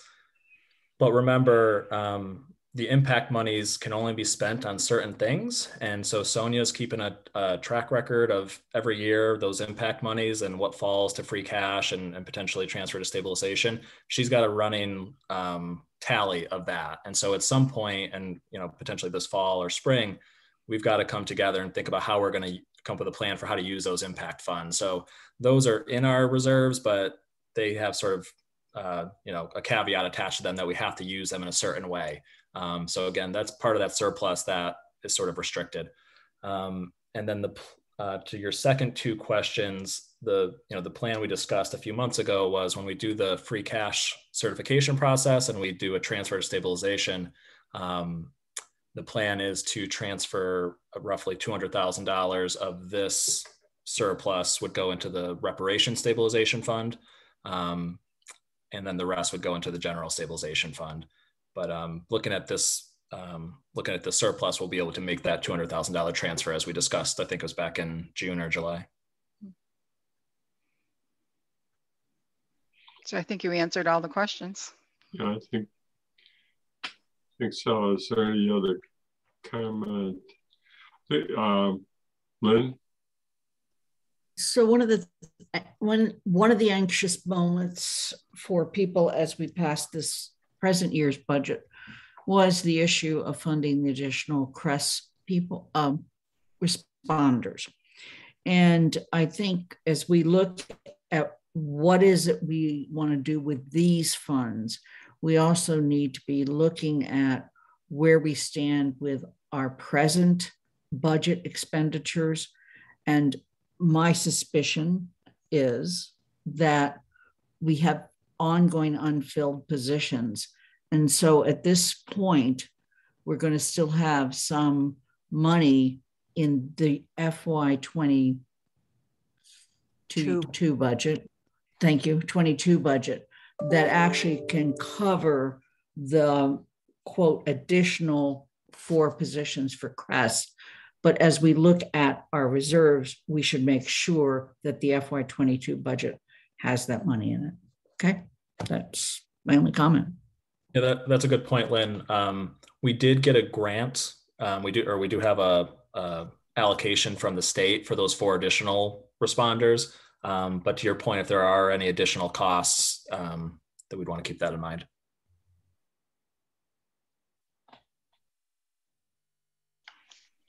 Move on to the enterprise funds. So on page five okay, of the. So, yeah, go ahead. Sorry.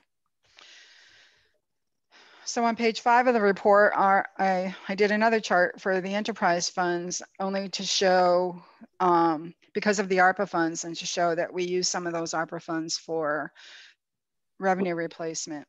So the sewer fund, we had a revenue deficit of about 415,500, but um, returned expenditures of 223. So we had a net deficit of 192,418.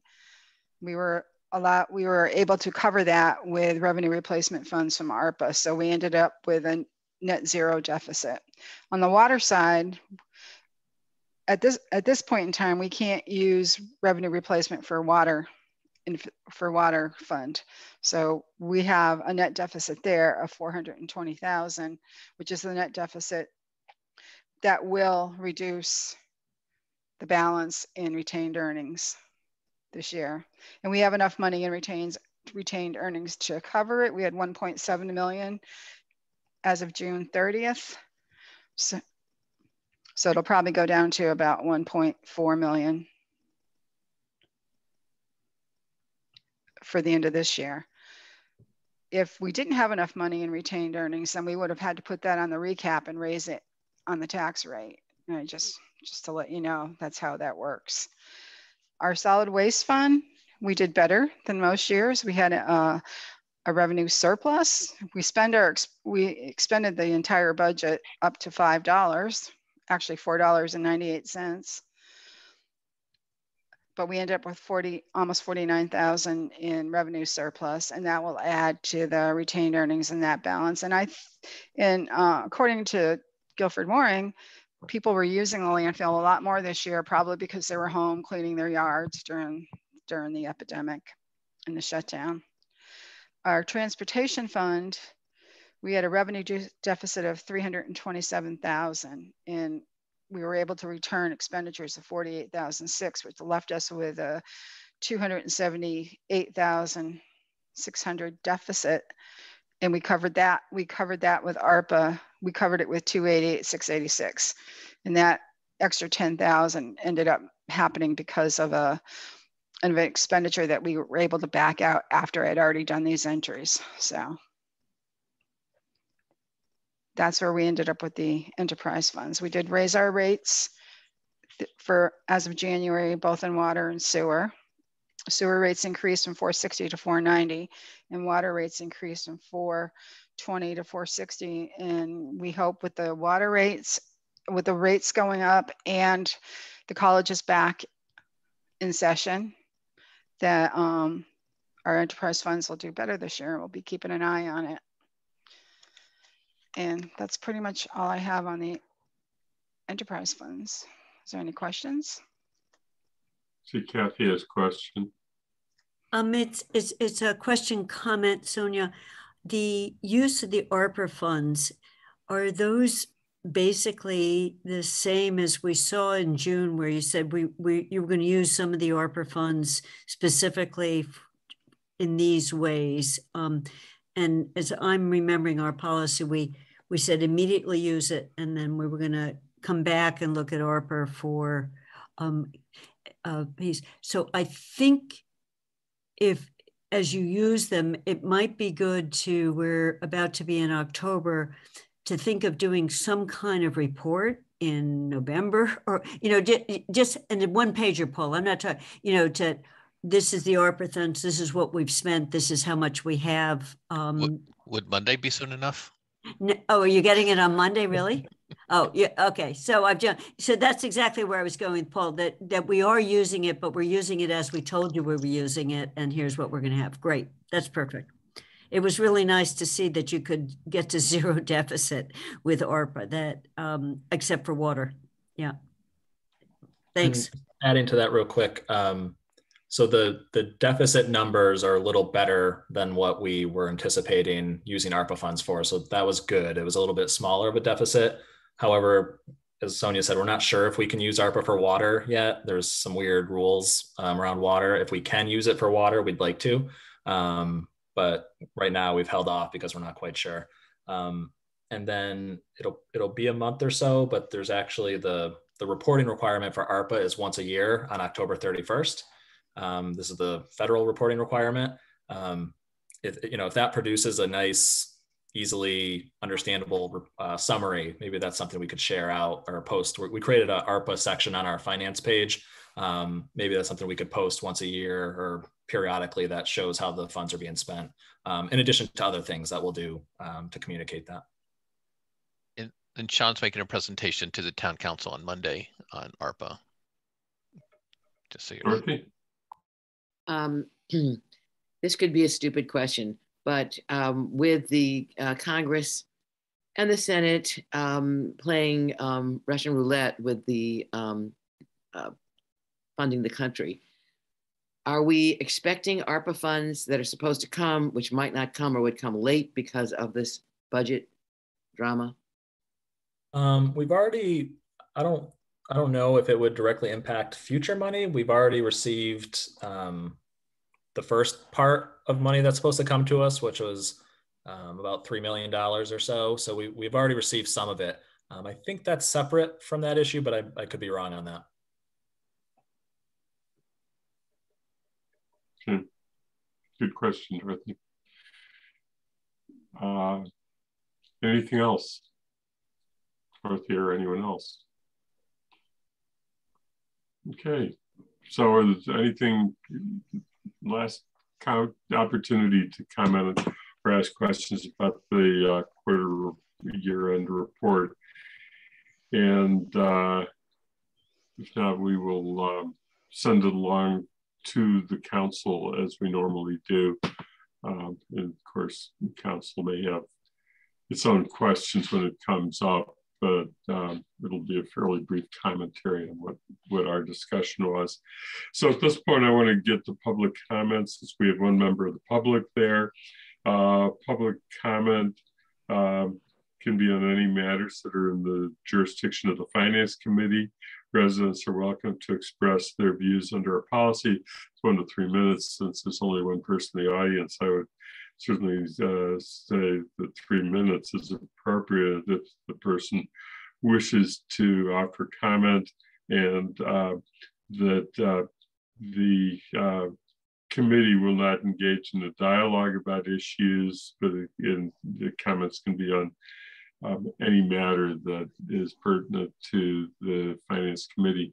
So um, I'll just pause for a second to see if the member of the uh, public wants to raise your hand, and I think that the answer is yes. So um, could uh, whoever is managing the meeting bring her in, and it has happened. So uh, please uh, state your name for the committee and uh, then uh, what you'd uh, like to offer in comments, and welcome.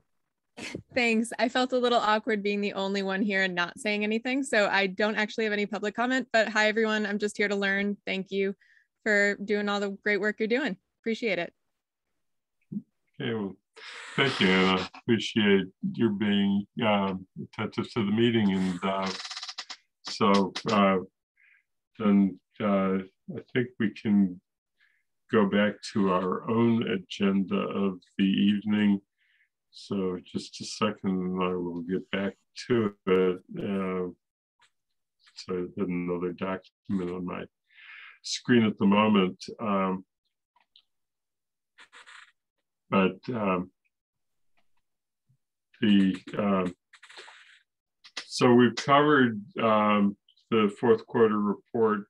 Um, so we're down to the next thing is uh, uh, what If, do you want to um, say anything about the budget calendar that you've worked out and what you think are the needs for future meetings for this committee fitting in with the budget calendar process as you have um, developed it?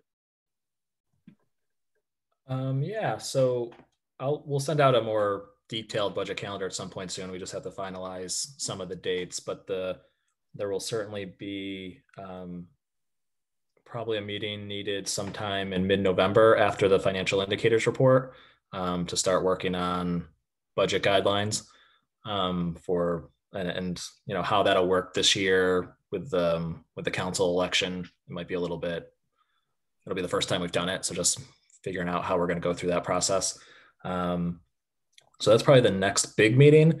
Um, there are a couple things on our radar that um, that we potentially would bring to a meeting like that. Some some expenditures that were unanticipated that we might bring forward, um, and we'll share more information. Nothing um, major, but just things that we might need to uh, talk with the finance committee about uh, going forward.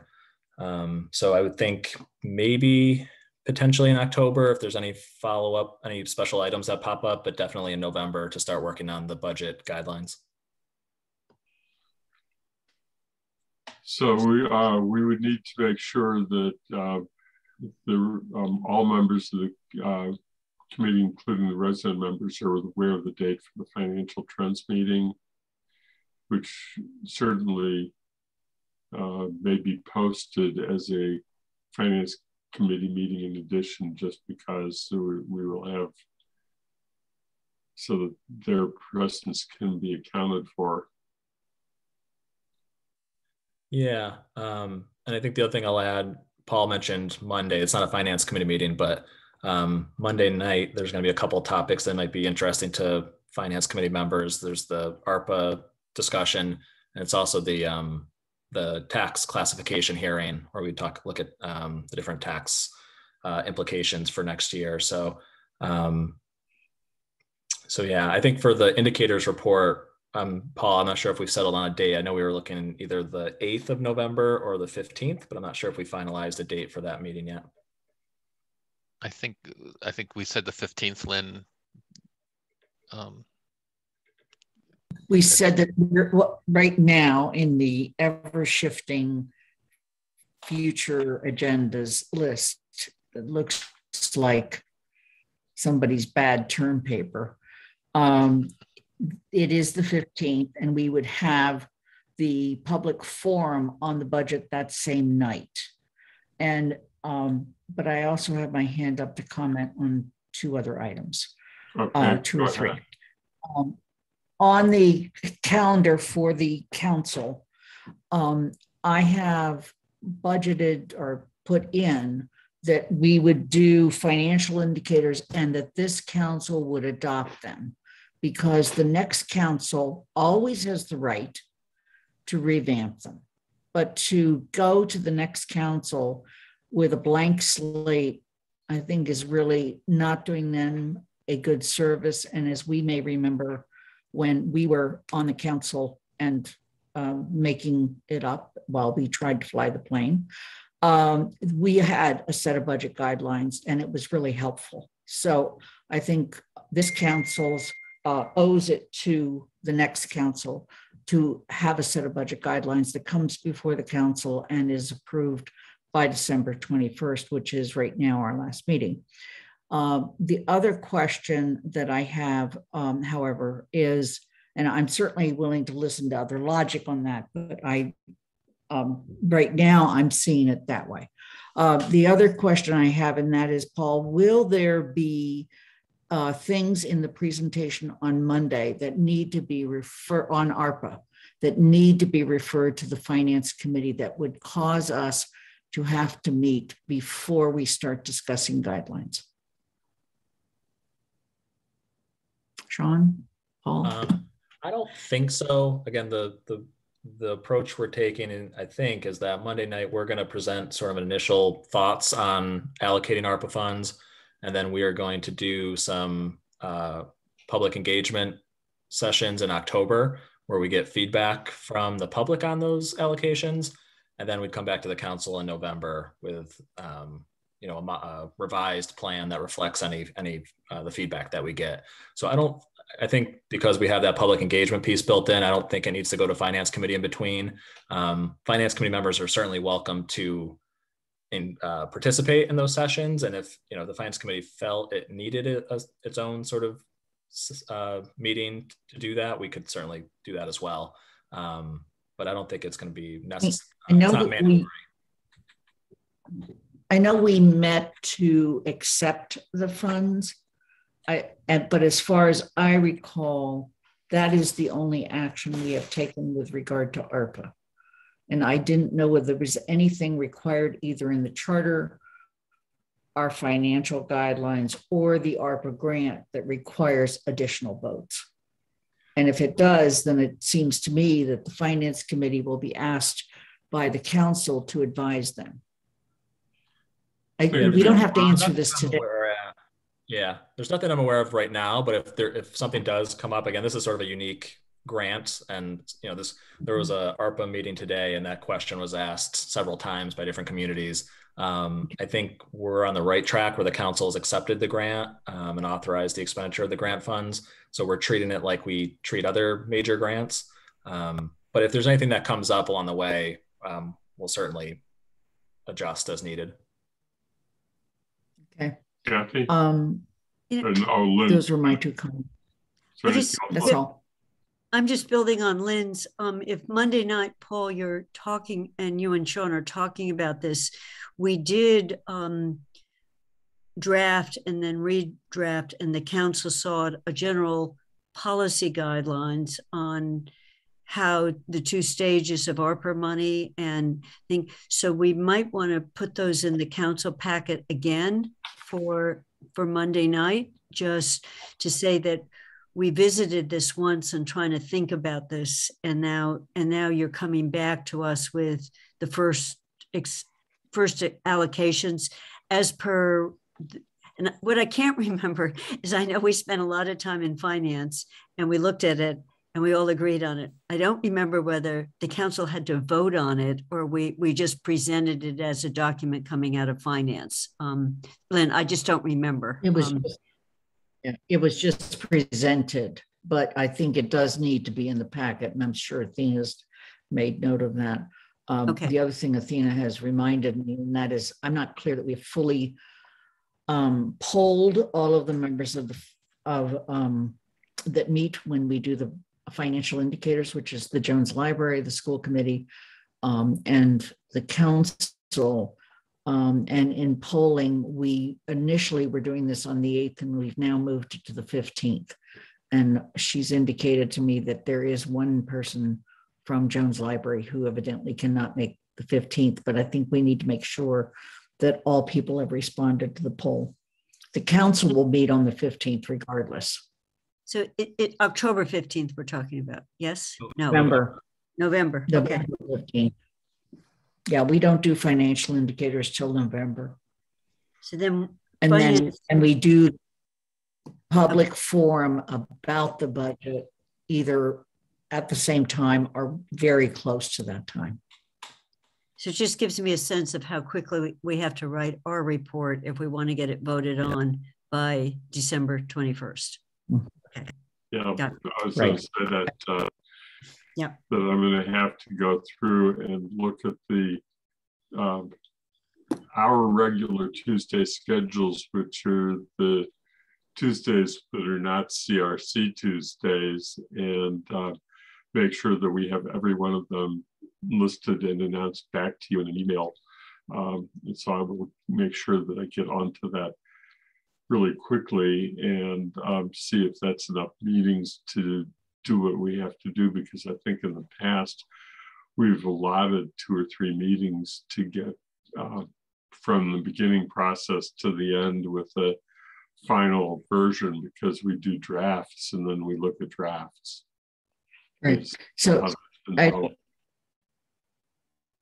And Andy, I, we only at this point have um, two meetings scheduled in December. And so the council should be looking at a draft on December 6th so that we can adopt it on December 21st. And Sean, I just want to go back to the issue of, um, in many ways, it would be better if we did the indicators on the 8th. I just need to know. I mean, it's really, uh, Paul did ask me if we could move it to the 15th and on my schedule. And we're trying to do the forum on a night of the council, not schedule yet another night for the council. Paul? Yeah, so um, so Mike Morris isn't available on the 8th. I think Sean Mangano is uh, out of town Mhm. on the 8th. So that's why the 8th, we're looking at other dates. The council Yeah. meets on both the 8th and the 15th. So, and I, and I know I- they're gonna be, we're not gonna get everybody for whatever date you choose. Right. I, I think we need to go with the fifteenth. Thank you. I think that we need to have the school superintendent of schools there. We need to have our finance director there.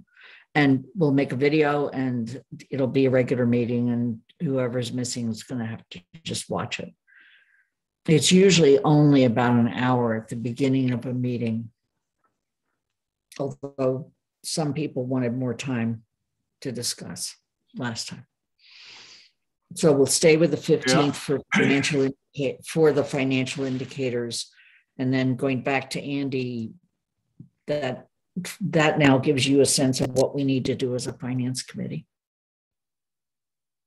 Yes, so I, I, I think best practice based upon prior experiences to not do a lot of polling about dates because there's too many people involved. Uh, by the time you put in all the different boards and committees, just announce a date as Lynn suggested. And uh, think we've kind of identified what it is and go with it. And um, at this point, that's the best we can do.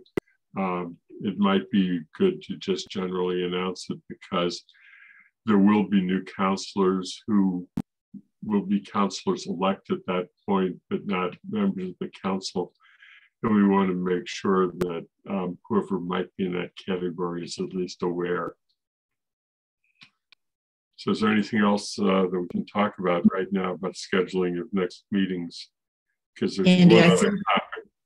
Yeah, but I do think that based on how difficult it was to schedule this meeting, uh, which included consulting Dorothy's teaching schedule and other commitments Pat has made, we probably need to see whether or not Tuesdays from two to four still work for people. Is there a problem with Tuesdays, two to four? It's fine with me. I have to check how long um, my class goes. I think I will be able to do that in November, but not in October. I know I can't do it in about- October. Yeah, we're talking about really, the pressure is going to be on once the financial indicators meeting takes place. Yeah, no, I know. Are you talking about Tuesday? Yes, Oh, okay. I'm, I apologize. I'm getting tired also. I can do Tuesdays from two to four. Okay. Or longer, which they usually go. yeah, I, I can do Tuesdays from two to maybe quarter of four. If, if I leave a few minutes early, that would be okay. Well, that's a decision that you'll have to make. We'll have to see how the process runs. Um, But uh, the goal is that um, I will continue to work with the chair of CRC and make sure that we're on alternate alternating dates and that we are not duplicating dates in which CRC meets and um, that's the the process that we've sort of been working at right now. Mhm. And that's uh, because I think Dorothy, you're the one who's on both committees presently, if I Right. recall correctly. Yeah, just, um, I have a new pickup duty, um, on Tuesdays, but, but I, I can maybe even make it if I stayed till four, but I couldn't stay a minute after, but it'd be better if I left a few minutes before it, that's all. Okay. Um, so covering that, then the one thing that's left is that, um, and Lynn might be the best person to explain this at this point. Um, we had a decision at the last council meeting that um, allows each committee to make one of two choices about the um, future meetings for the remainder of the year, the calendar year. And that is uh, whether to continue to meet as virtual meetings or to do hybrid meetings. And um, each committee was asked to um, make a decision as to how it wanted to proceed. Uh, I was therefore um, um, had been very prescient in putting in decide whether to continue meeting virtually if allowed by law and council policy is the way that the posted agenda reads for this meeting. So um, with that, we need to do it. And I um, uh, will just, I think that all of the council members of the committee heard the presentation about how hybrid meetings work. Um, if either Bob or Bernie need an explanation, um, and I, I think that um, we need to have you ask the question and uh, Lynn, who's really been the one who worked with Fina on it, um, can provide the answer, but otherwise we need to just come to a decision.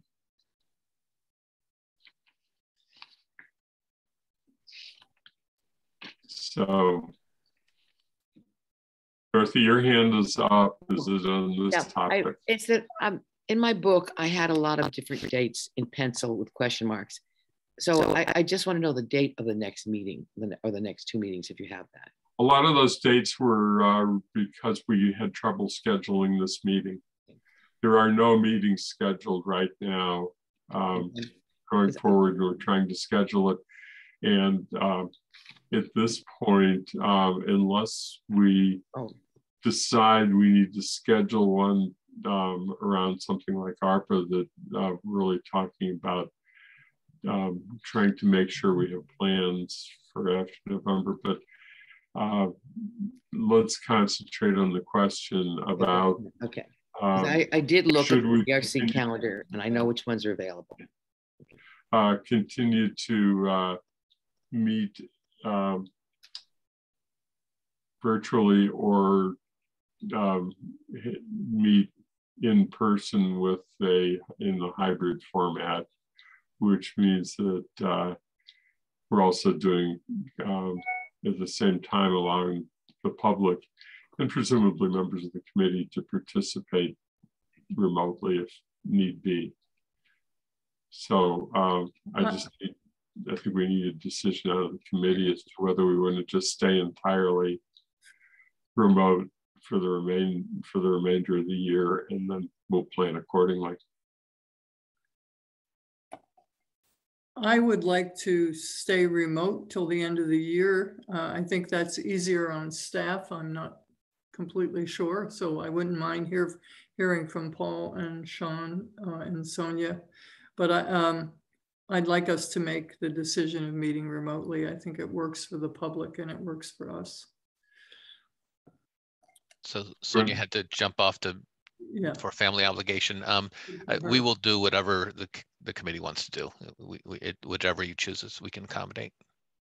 The way we've set it up, uh, it's actually to minimize staff demand, um, and to also allow councilors and the public to either attend remote or in person if you ret- if you do attend in person, it will be masked in the town room. Um, I'm going to recognize Kathy because her hand is up, and uh, just uh, say that I would really welcome a uh, motion because then we'll have something we can uh, deal with and be done with this meeting. Um, that thanks to Andy. I was going to make a motion to continue to meet um, by Zoom to the end of the year. And I know we don't have the dates yet, but there are a couple days in November, including the 16th, where I'm going to be in a meeting uh, around the school building project for an extended period of time. And that might make it hard to physically get down to town hall. So, aside from other reasons, I think meeting Zoom, um, and I'd love to see everyone in person starting next year. But um, you know, the, the, just the one comment Make on the motion. My motion is that we continue to meet. I'm just seconding Pat, but I'm I make a motion that we continue to meet in Zoom on Zoom t- until the end of the year. Second, second. Okay. Um, any further discussion in because if I don't hear any discussion, if there's no request for discussion, no hands go up, then we're just going to go around the committee. and uh, the two members who are uh, resident members can express how they, what their preference might be. Um, the members of the committee who are councilors um, should go ahead and vote and uh, then we'll see where we are. Um, so start with Dorothy. Um, I, I move that we stay remote till the end of the year. So that, so you're in favor of the motion? which Yes, I is am. on the floor. Yes. Okay. And uh, Lynn, Going to um, hold on for a minute and see what others want to do. Pat, I support, uh, yeah, aye. uh, Bob, What's the motion. You support the motion. Yes. Uh, Bernie, Well, despite the fact that John promised us free parking, I'll support the motion.